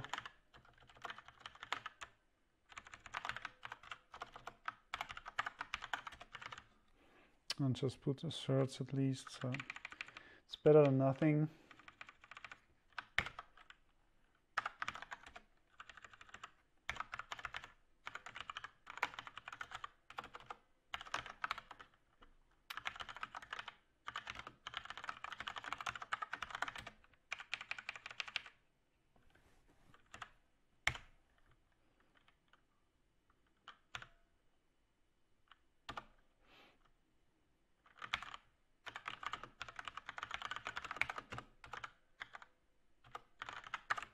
Oh, actually we need nred fread file data. So this is again the one I never remember, but it should be same like this.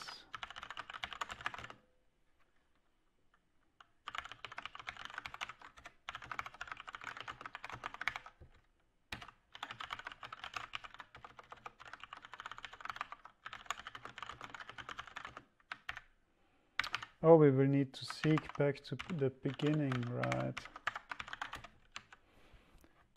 Uh, this gives us an opportunity to test our error handling because we forgot to seek back to the beginning.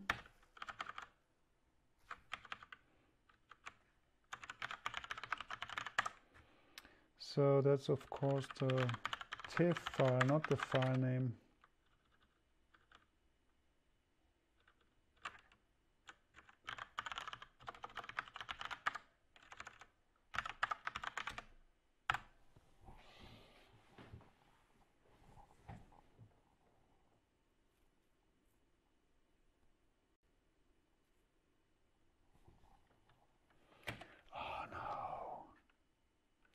This is so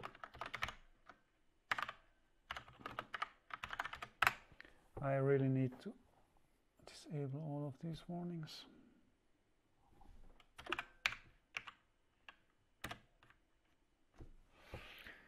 Yeah, we have a problem. Invalid file open mode, okay.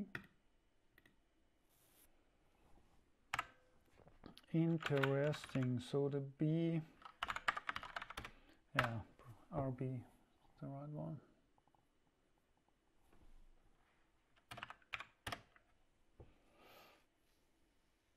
Couldn't read file, no error. yeah, yeah, it's no error, that's right, because actually we hit end of file. So yeah we need to do the seeking again.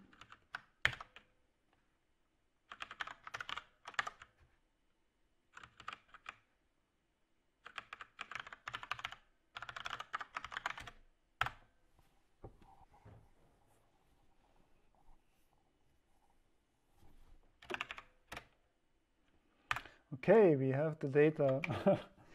Just this much code that you need to read a damn file into memory. Maybe I should not have used libc.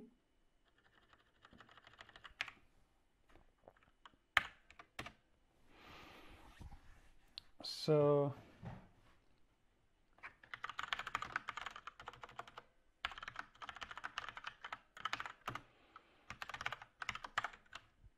hmm.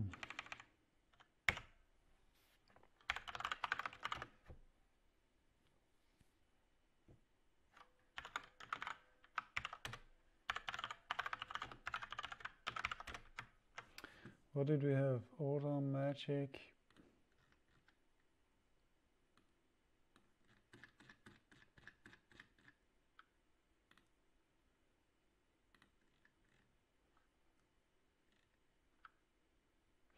First IFD.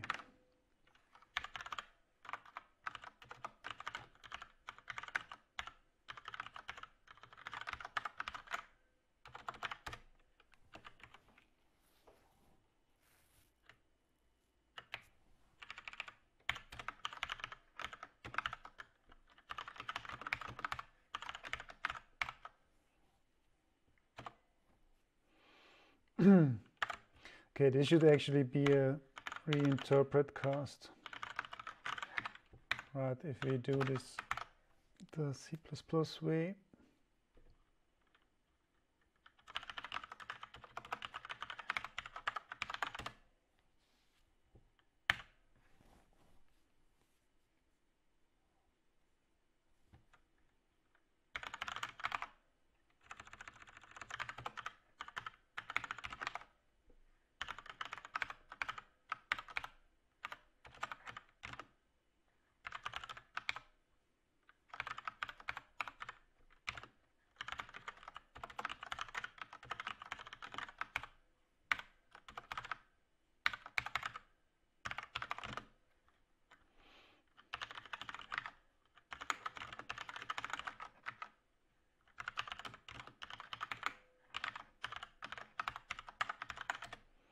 Let's see if this basically works. This just a very crude way of yeah, this seems to work. So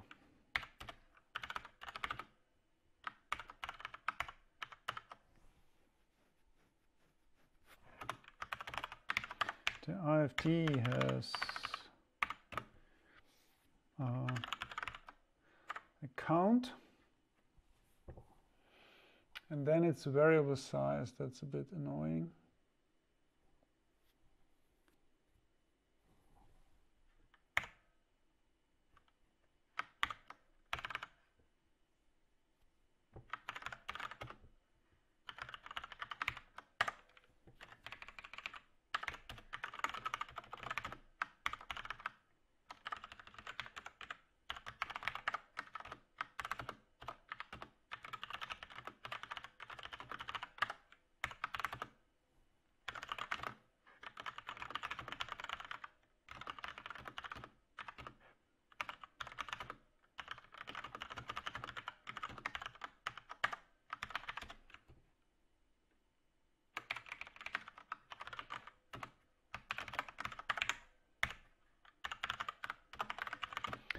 So what did we have there? I think we had a tag, we had a type,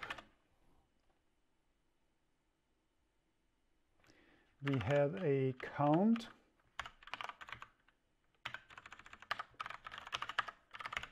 and we had a value. Should be 12, 12 bytes.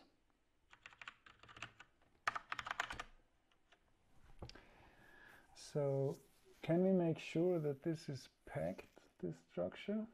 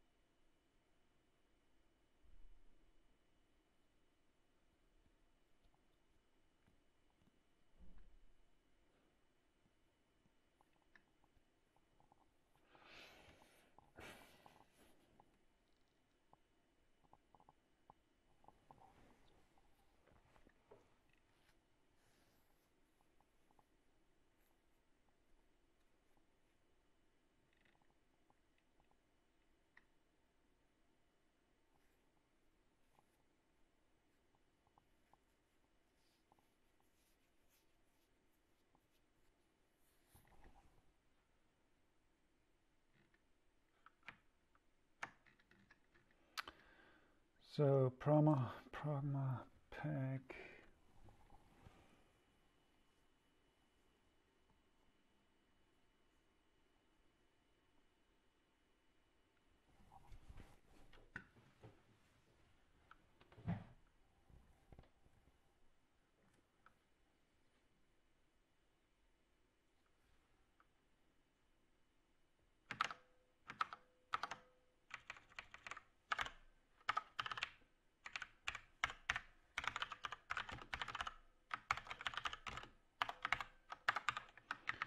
So we want all of those packed tightly.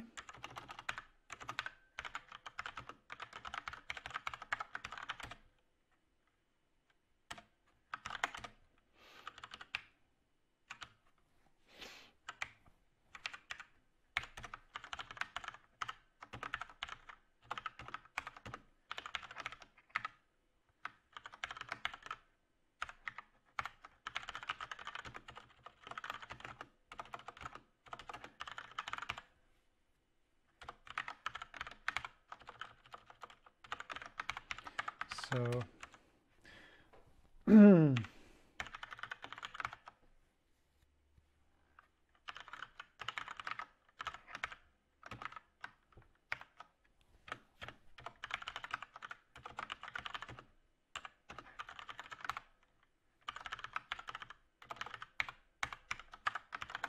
just some sanity checks. We don't really do real error handling on this here.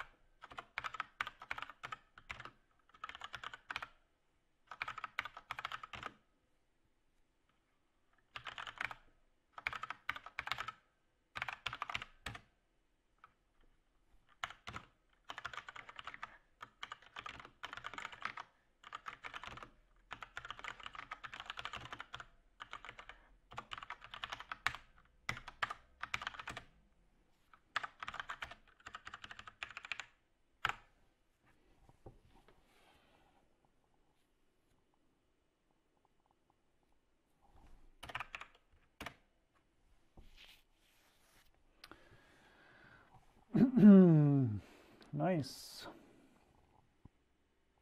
So what we really need is not that much.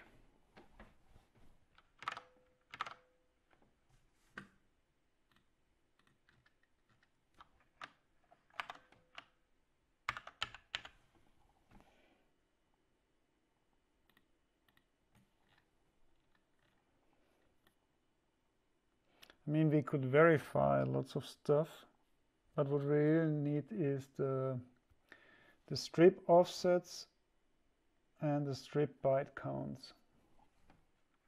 So 111 and 117.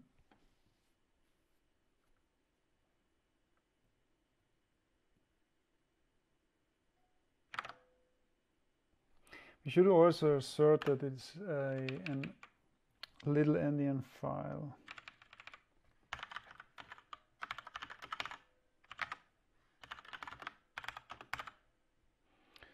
What was the little endian? This was the II. 4949.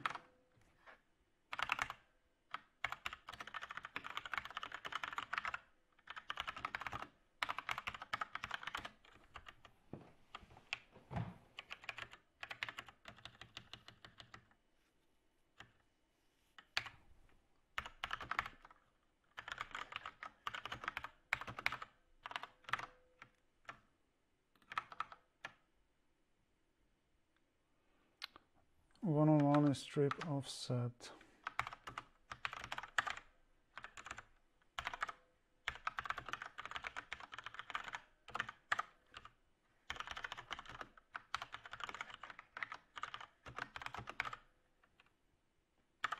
This probably should be a switch, right?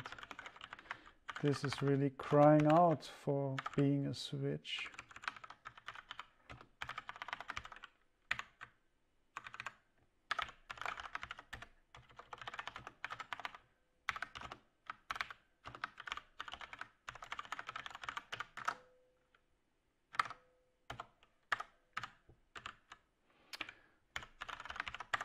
So we only we only want a single strip, so we should assert the count is 1 in both cases.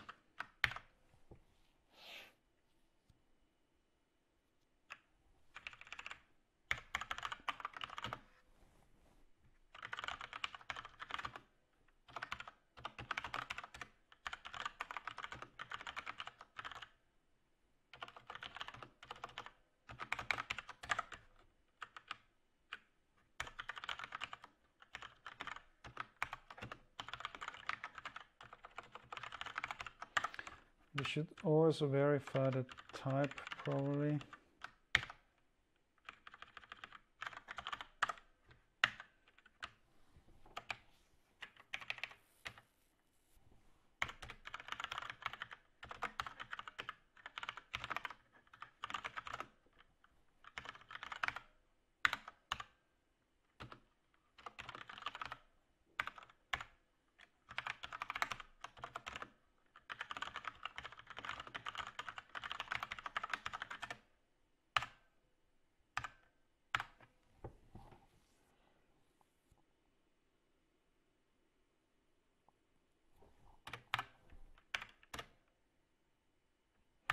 Okay, and that that should be enough to extract the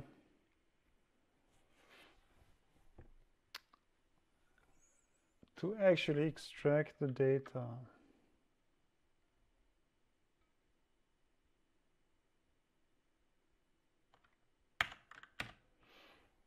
So, mm -hmm.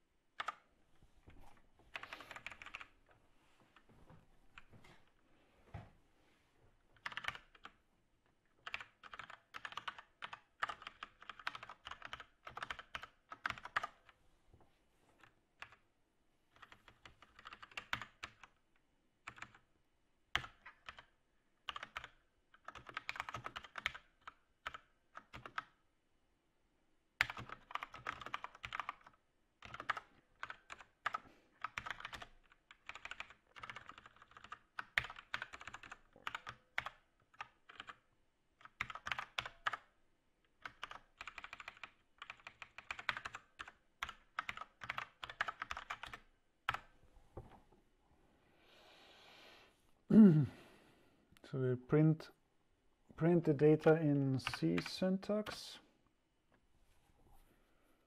Okay, the first check didn't work, but apart from that,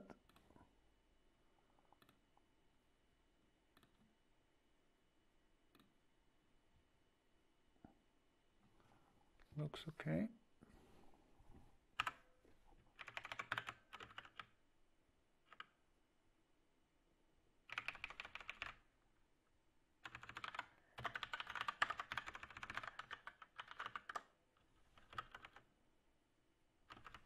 Oh, yeah, because it's already incremented.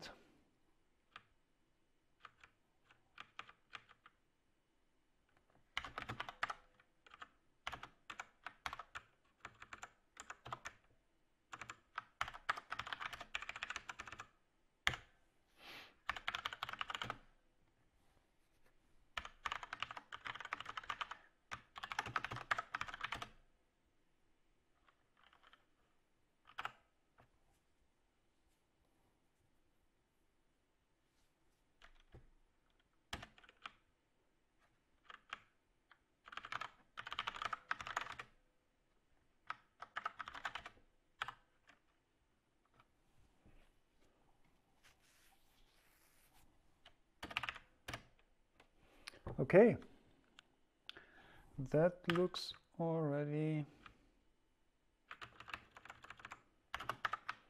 quite nice.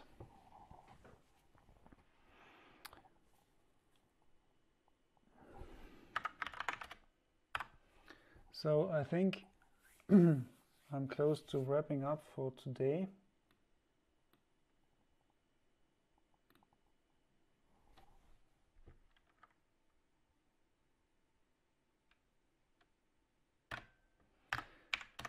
what I to do still, so let's pipe this to a file.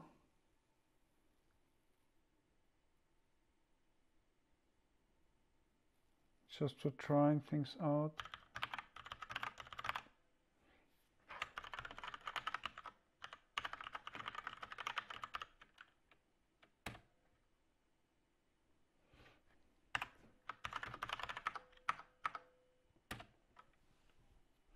Yeah, this is a this is a problem that we have this output. This needs to be removed.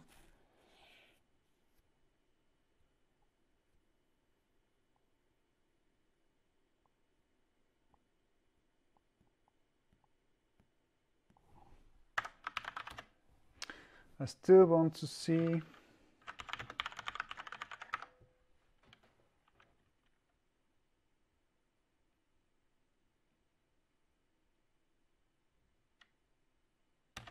let's make a very very quick and dirty check if this is reasonable data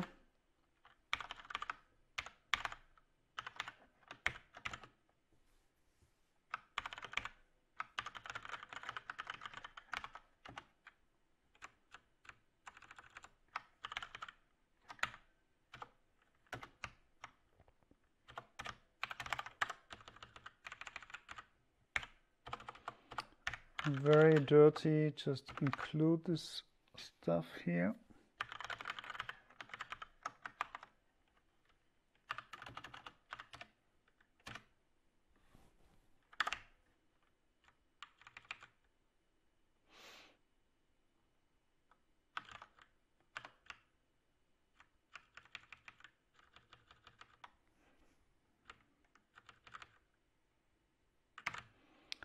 do something similar to this.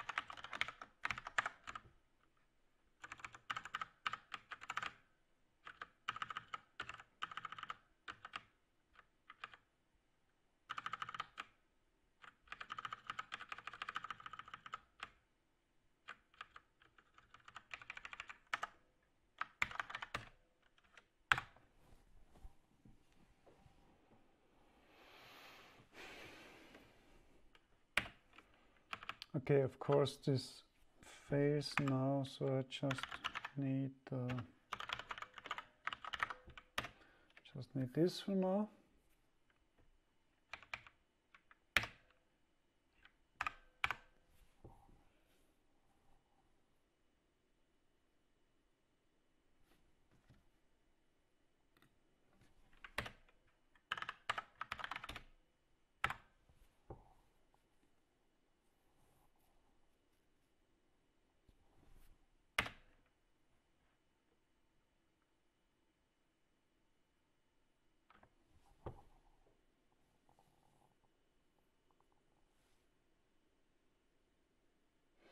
Okay, I don't think that this will really work because the, the beginning of the data does not look like it, it matches what we expect.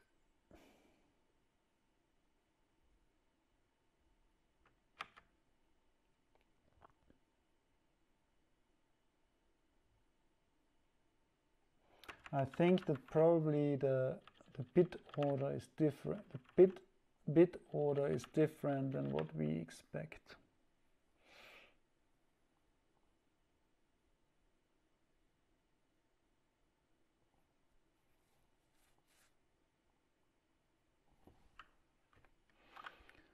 So this will not work now.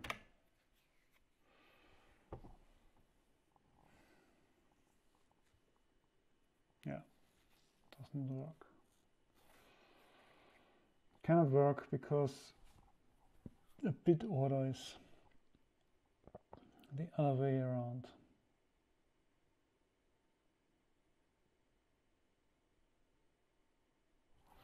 And I'm not sure I'm not sure if that can be if that can be changed.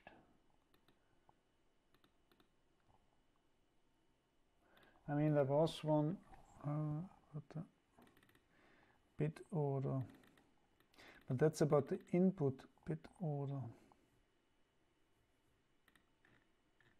And they do talk about bit order in this in the source here.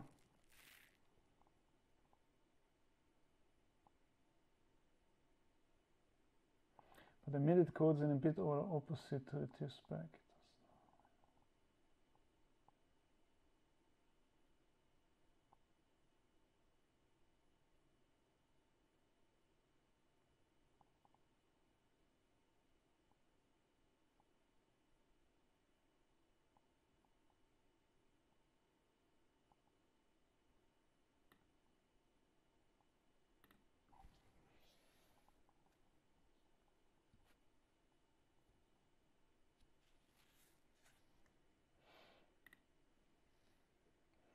Let's see if we if we read something about the bit order here.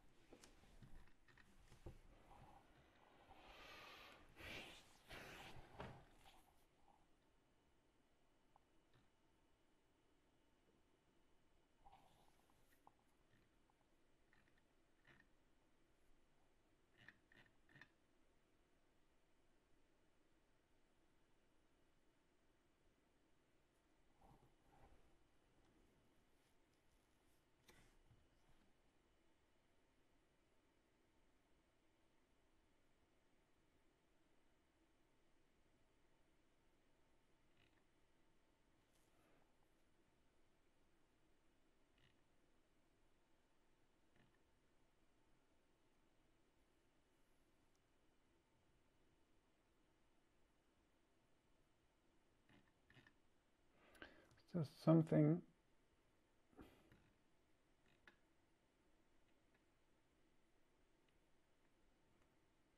about the bit order.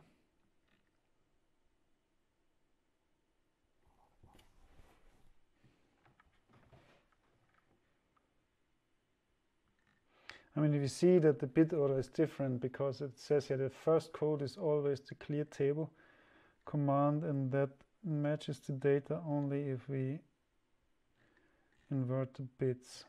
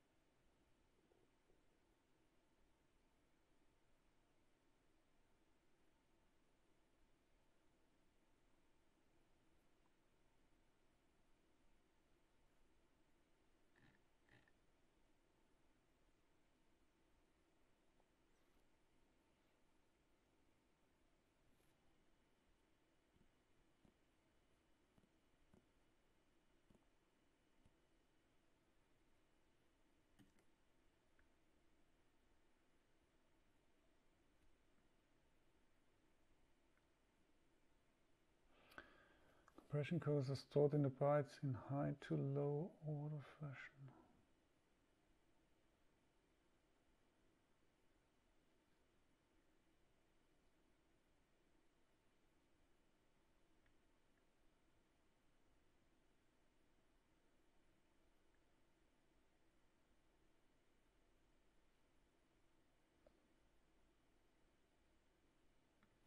So maybe it is only the bytes maybe we only need to invert the bit order in the bytes.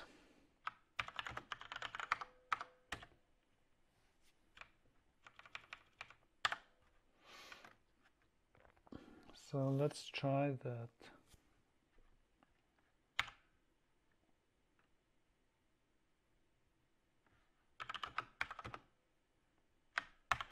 So how do we do that again? You do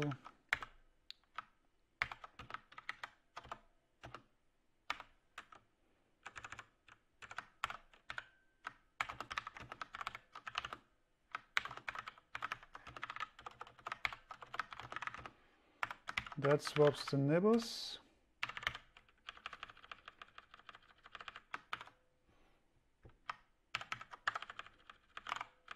And then we do this.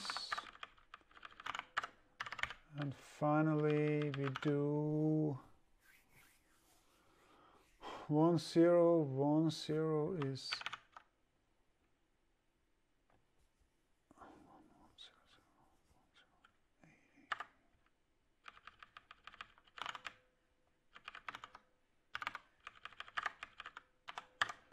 something like this.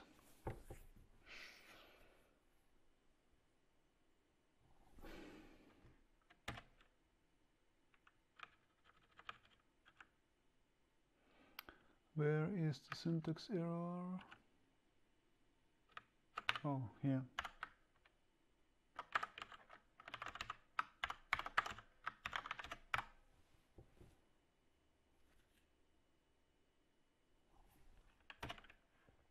Still a syntax error. Okay,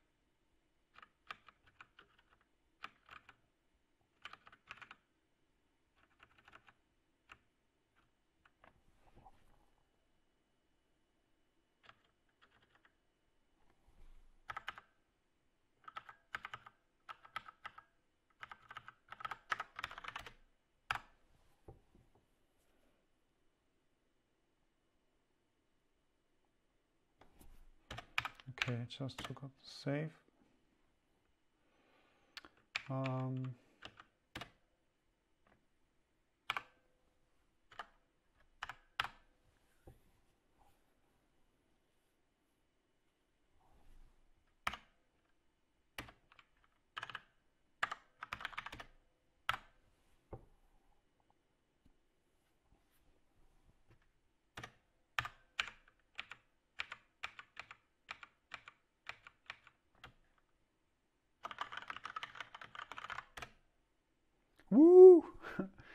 We pass. That's it. It's just a bit order in the bytes. The byte order is fine. That is great. Because that, yeah, that makes it really simple. The question is just the compatibility with PDF. That's strange.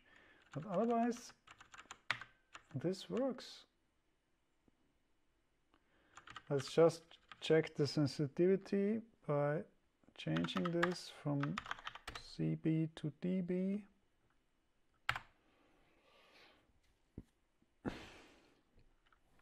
Let's see if our test is sensitive to that. Yeah, it is.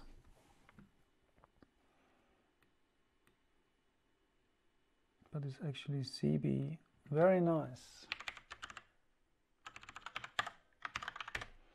I think that's a good a good point to wrap the stream for today.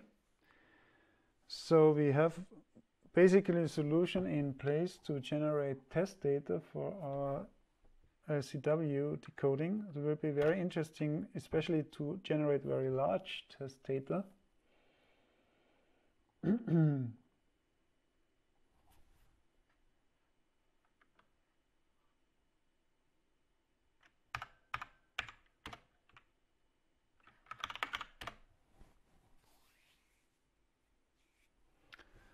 and yeah. So this we will do next time. And generate some large test files. Large meaning in particular that the full lookup table of the LZW decoder should be exhausted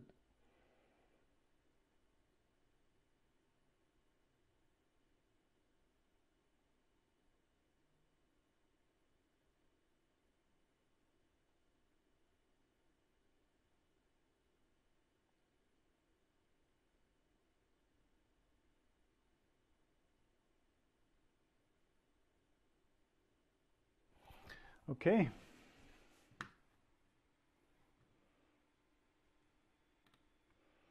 Successful today.